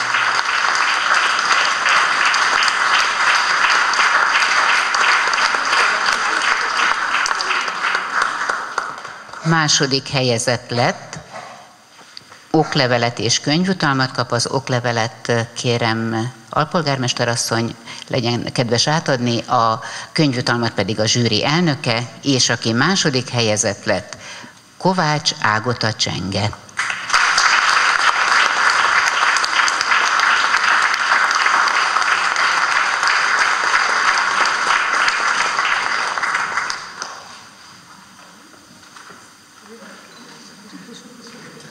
Az alsó tagozatosok versenyében első helyezett lett, Szent Flórián szobrot kap, oklevelet és könyvjutalmat, és akkor ezek a átadására kérem szépen, a szobor átadására kérem elnök urat, a kuratórium elnökét, dr. Kovács Lászlót, az oklevél átadására alpolgármester asszonyt, a könyvjutalom átadására pedig a zsűri elnökét, és a, aki kapja, jó, de izgi.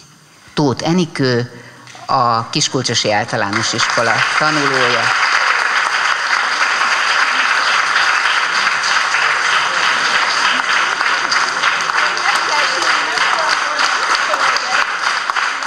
Sírni csak a győztesnek szabad.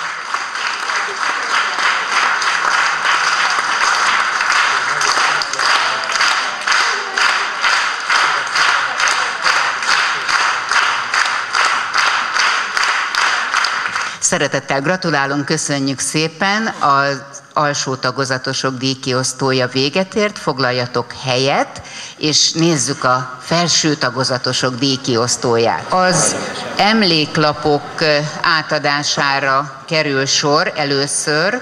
Béres Anna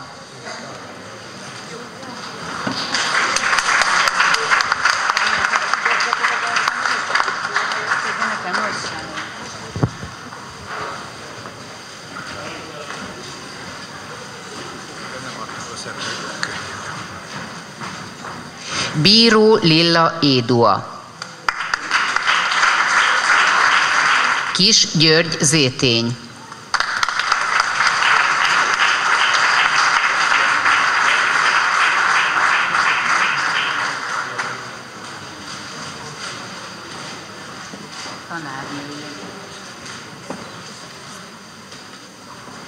Emődi Réka,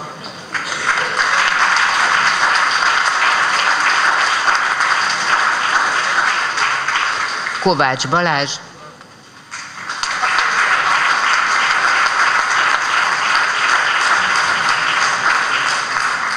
Hornung Aléna,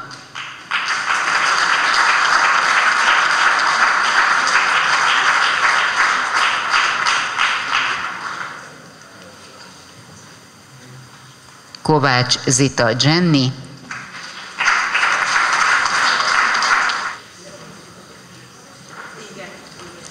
Palkó Fanni, jaj, ő nem, Fanni is nevezett a versenyre, de sajnos betegség miatt nem tudott eljönni, innen is mindannyiunk nevében gyógyulást kívánunk neki. Az emléklap természetesen neki is elkészült. Víg Csenge.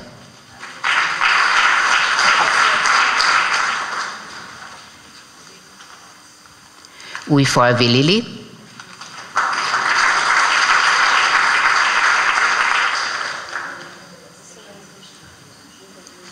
Pál Zsanett.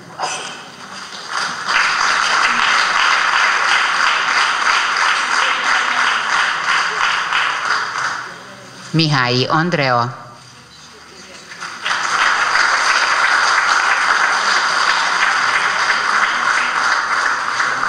és Lak Ádám.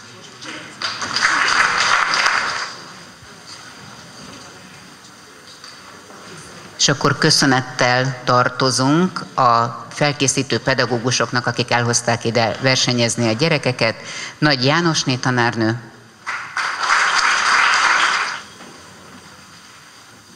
Pusztósné Gyarmati Éva tanárnő,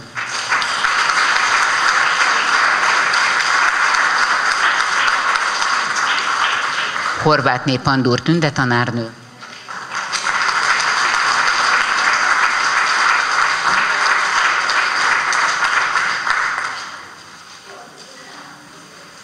Nagy Éva tanárnő.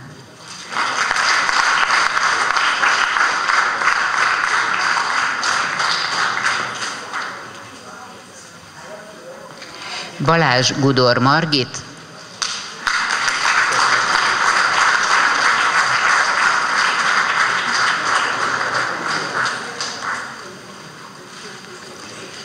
Éter Pandurcsek Bettina.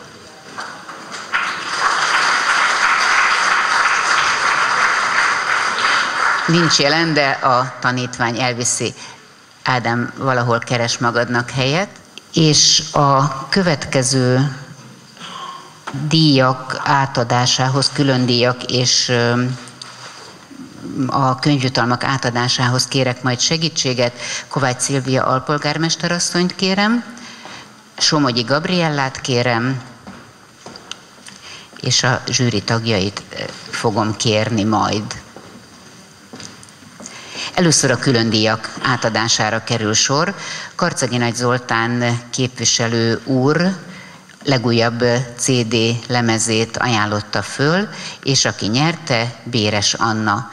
Megkérem Kovács Szilvia alpolgármester asszonyt adja át az ajándékot.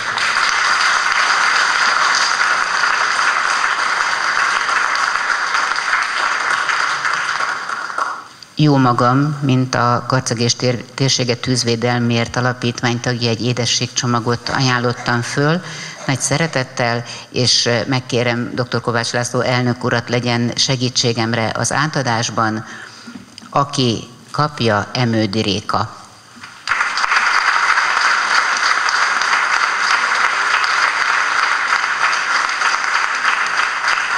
A karcagi rendőrkapitányság vezetője Teleki Zoltán alezredes úr ajánlott fel ajándékot.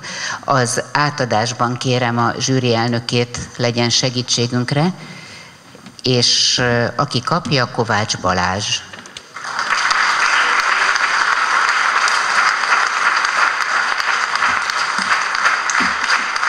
Somogyi Gabriella, a Karcagvárosi Önkormányzat Társadalmi Kapcsolati és Idegenforgalmi Kapcsolati Bizottságának tagja. Séróból nem tudtam. Pál Zsanett részére ajánlott föl ajándékot, kérem Zsanettet vegye át, Gabit pedig, hogy adja át az ajándékot. Nagyné László Erzsébet képviselőasszony édességcsomagot ajánlott föl, és ezt a külön díjat megkérem, hogy Kovács Szilvia alpolgármesterasszony adja át a nyertesnek, és aki kapja, Mihályi Andrea.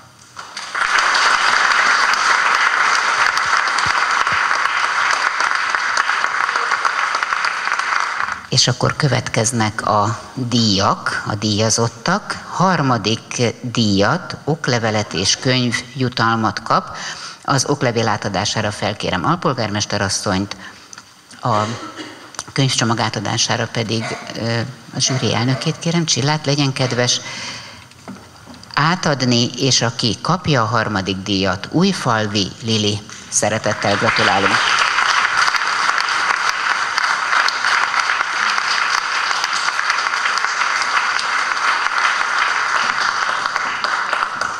Második díjat kap, és a második díj oklevél és könyvcsomag. Az oklevél átadására felkérem Kovács Szilvia alpolgármesterasszonyt, a könyvcsomag átadására pedig Barna Sándort, a zsűri tagját, legyen kedves, legyen segítségünkre ebben, és aki a második díjat kapta, Emődi Réka.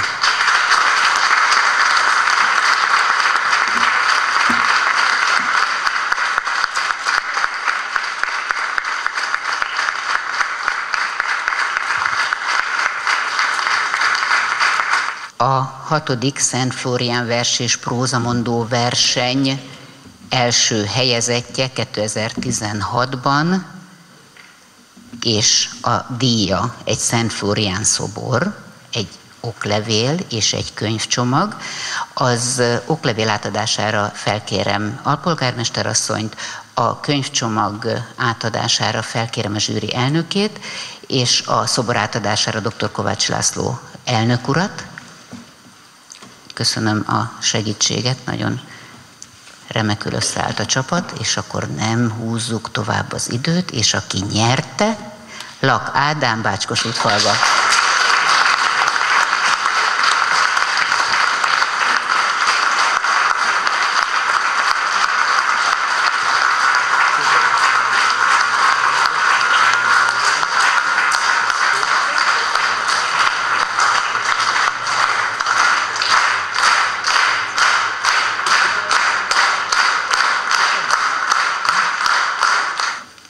Szeretettel gratulálok a nyerteseknek, és köszönöm mindenkinek a részvételt. Még maradjatok majd egy kicsit, tehát a helyetekre mentek, de ne menjetek még haza. Várjuk meg a középiskolások eredményhirdetését is. Köszönöm szépen, foglaljatok helyet. A középiskolás versenyzőket kérem jöjjenek ki, és a felkészítőiket. Molnár Beatrix Nagymuzsajról. Szeretettel gratulálunk.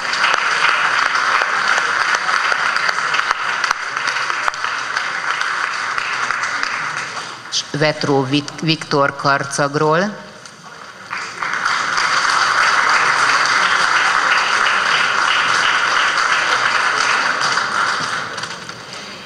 És Kentési Renátának gratulálunk, és nyújtunk át emléklapot, és szeretettel megkérjük Viktort átadja, neki rendben van, és Jakab Erikát kérjük, hogy fáradjon ki, ő már kapott emléklapot, de a fotó erejéig légy szíves, te is gyerek szeretettel köszöntünk, és köszönjük a felkészítést.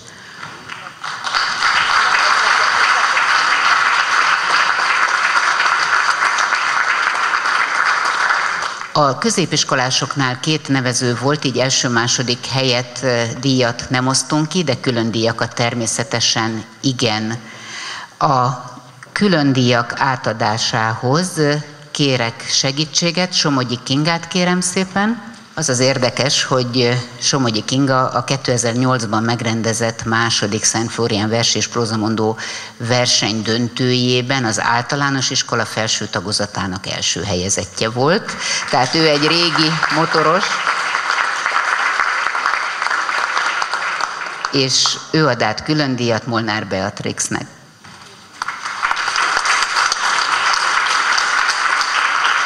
Felkérem Kovács Szilvia alpolgármester asszonyt a Karcagi Ipari Park külön díjának átadására. Az Ipari Parknak köszönjük a felajánlást, és aki kapja Vetró Viktor. Szeretettel gratulálunk.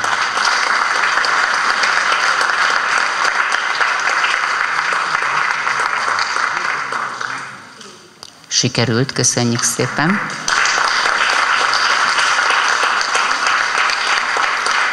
A tűzoltóság külön díját egy könyv csomagot, könyvajándékot Lévai Kálmán ezredes úr ad át Vetró Viktornak.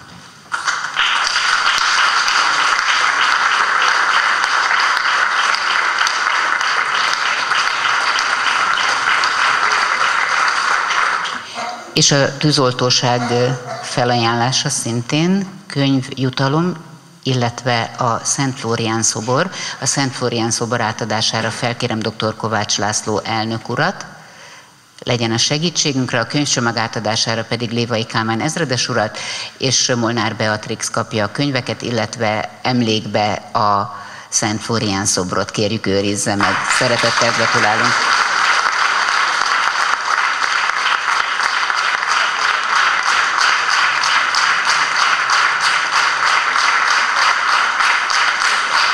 És a sok-sok ajándékhoz még egy adag ajándékot ajánlott föl a Dériné Kulturális Központ igazgatója Szepesi Tibor úr, önkormányzati képviselő, és szeretne minden egyes versenyzőnek könyvjutalmat átadni, vagy könyv ajándékot átadni, hogy senki ne menjen erről a versenyről haza üres kézzel. Ezért kérem a versenyzőket, hogy most gyertek föl a színpadra, hogy lássuk hányan vettetek részt ezen a szép délutánon, készülhetnek a fotók, és minden versenyző kap ajándékkönyvet, és felkérem Szepesi Tibor igazgatórat legyen kedves, az ajándékkönyveket adja át.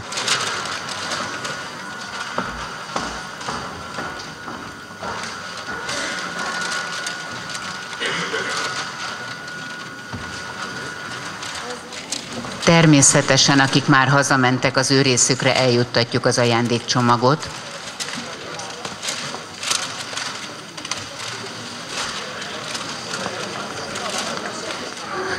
Tisztelt Hölgyeim és Uraim, kedves gyerekek, kedves mindenki, aki eljött, megtisztelt bennünket. Most még, még együtt vagyunk, amennyien együtt vagyunk. Szeretném megköszönni egyes közreműködőknek a közreműködést. Mindenek előtt az állandó zsűritag barátomnak, Barna Sándor úrnak,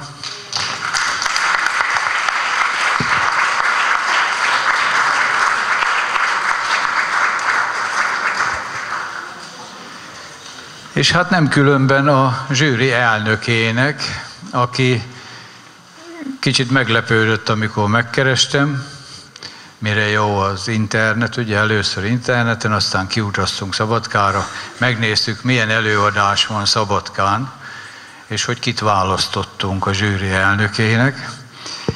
Isten bizony mondom, hogy kiváló előadás volt, én bízom benne, hogy egyszer ez az előadás eljön karcagra, és egy fergeteges, kacagós estét tudunk együtt tölteni lent a nagy terembe, ahol sokan elférünk. Hihetetlen jó darab. Nem emlékeztet semmilyen más darabra, nem Shakespeare és nem más.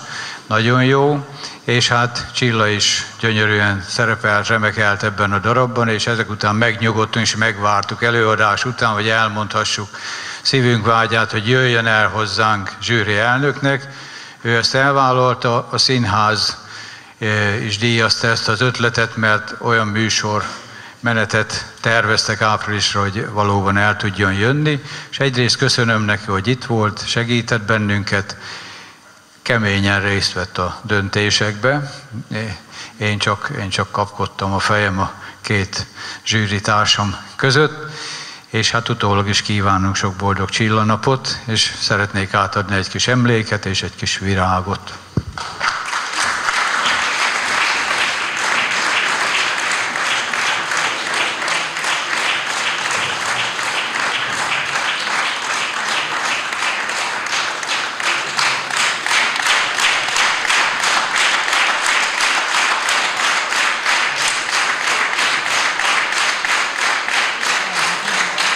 Próbáltam kideríteni, hogy Csillának mi a kedvenc virága.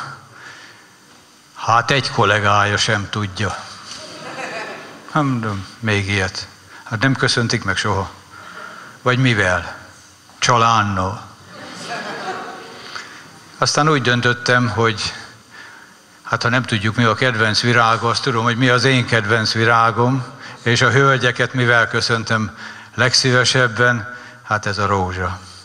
És épp ezért rózsával köszöntöm a levezetőnket,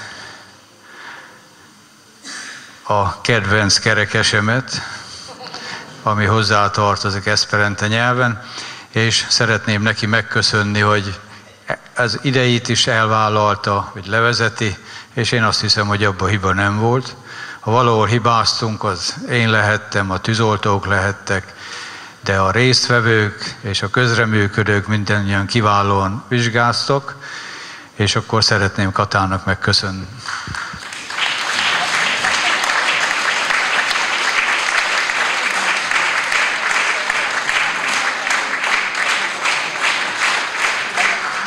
Azt viszont tudom, hogy Katának a sárga rózsa a kedvence, és nem véletlen, és hát azért, mert megkapta a köszönet jelét, még van dolga.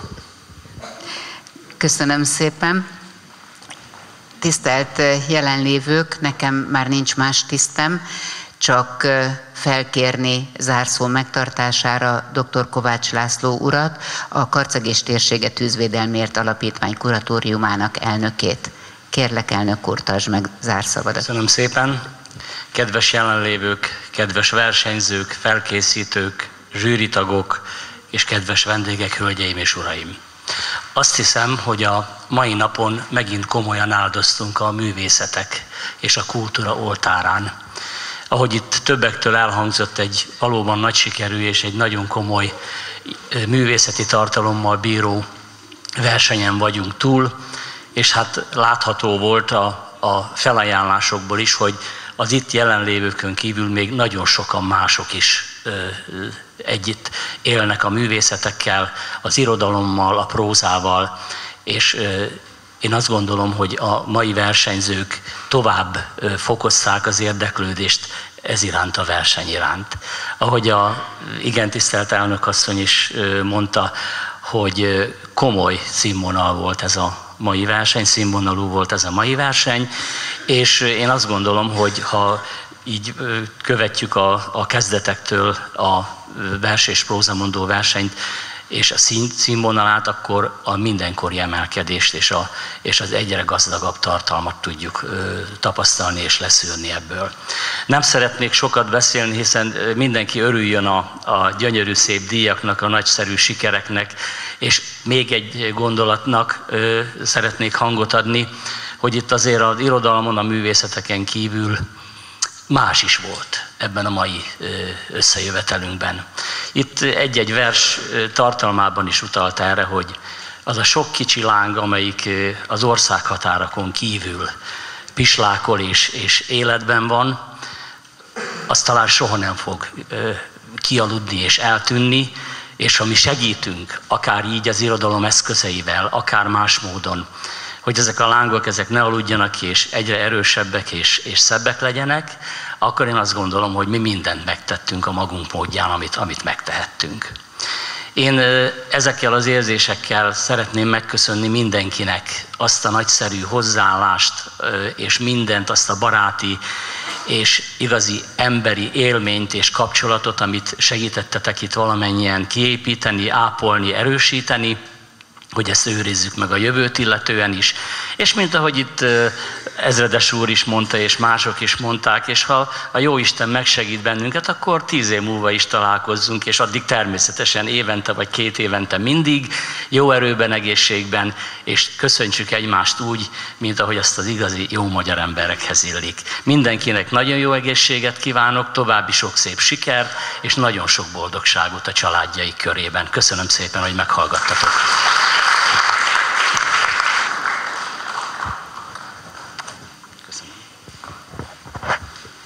Szívemből szóltál, elnök úr, ezt akartam megköszönni egy készfogással. Én köszönöm mindenkinek, aki a mai nap sikeréhez hozzájárult versel, felkészítéssel, díjak felajánlásával, díjátadással, köszöntő szavakkal, kedvességgel, szeretettel. Köszönöm mindenkinek a munkáját, örülök, hogy ismét együtt voltunk. További szép napot kívánok mindenkinek, viszontlátásra, szervusztok!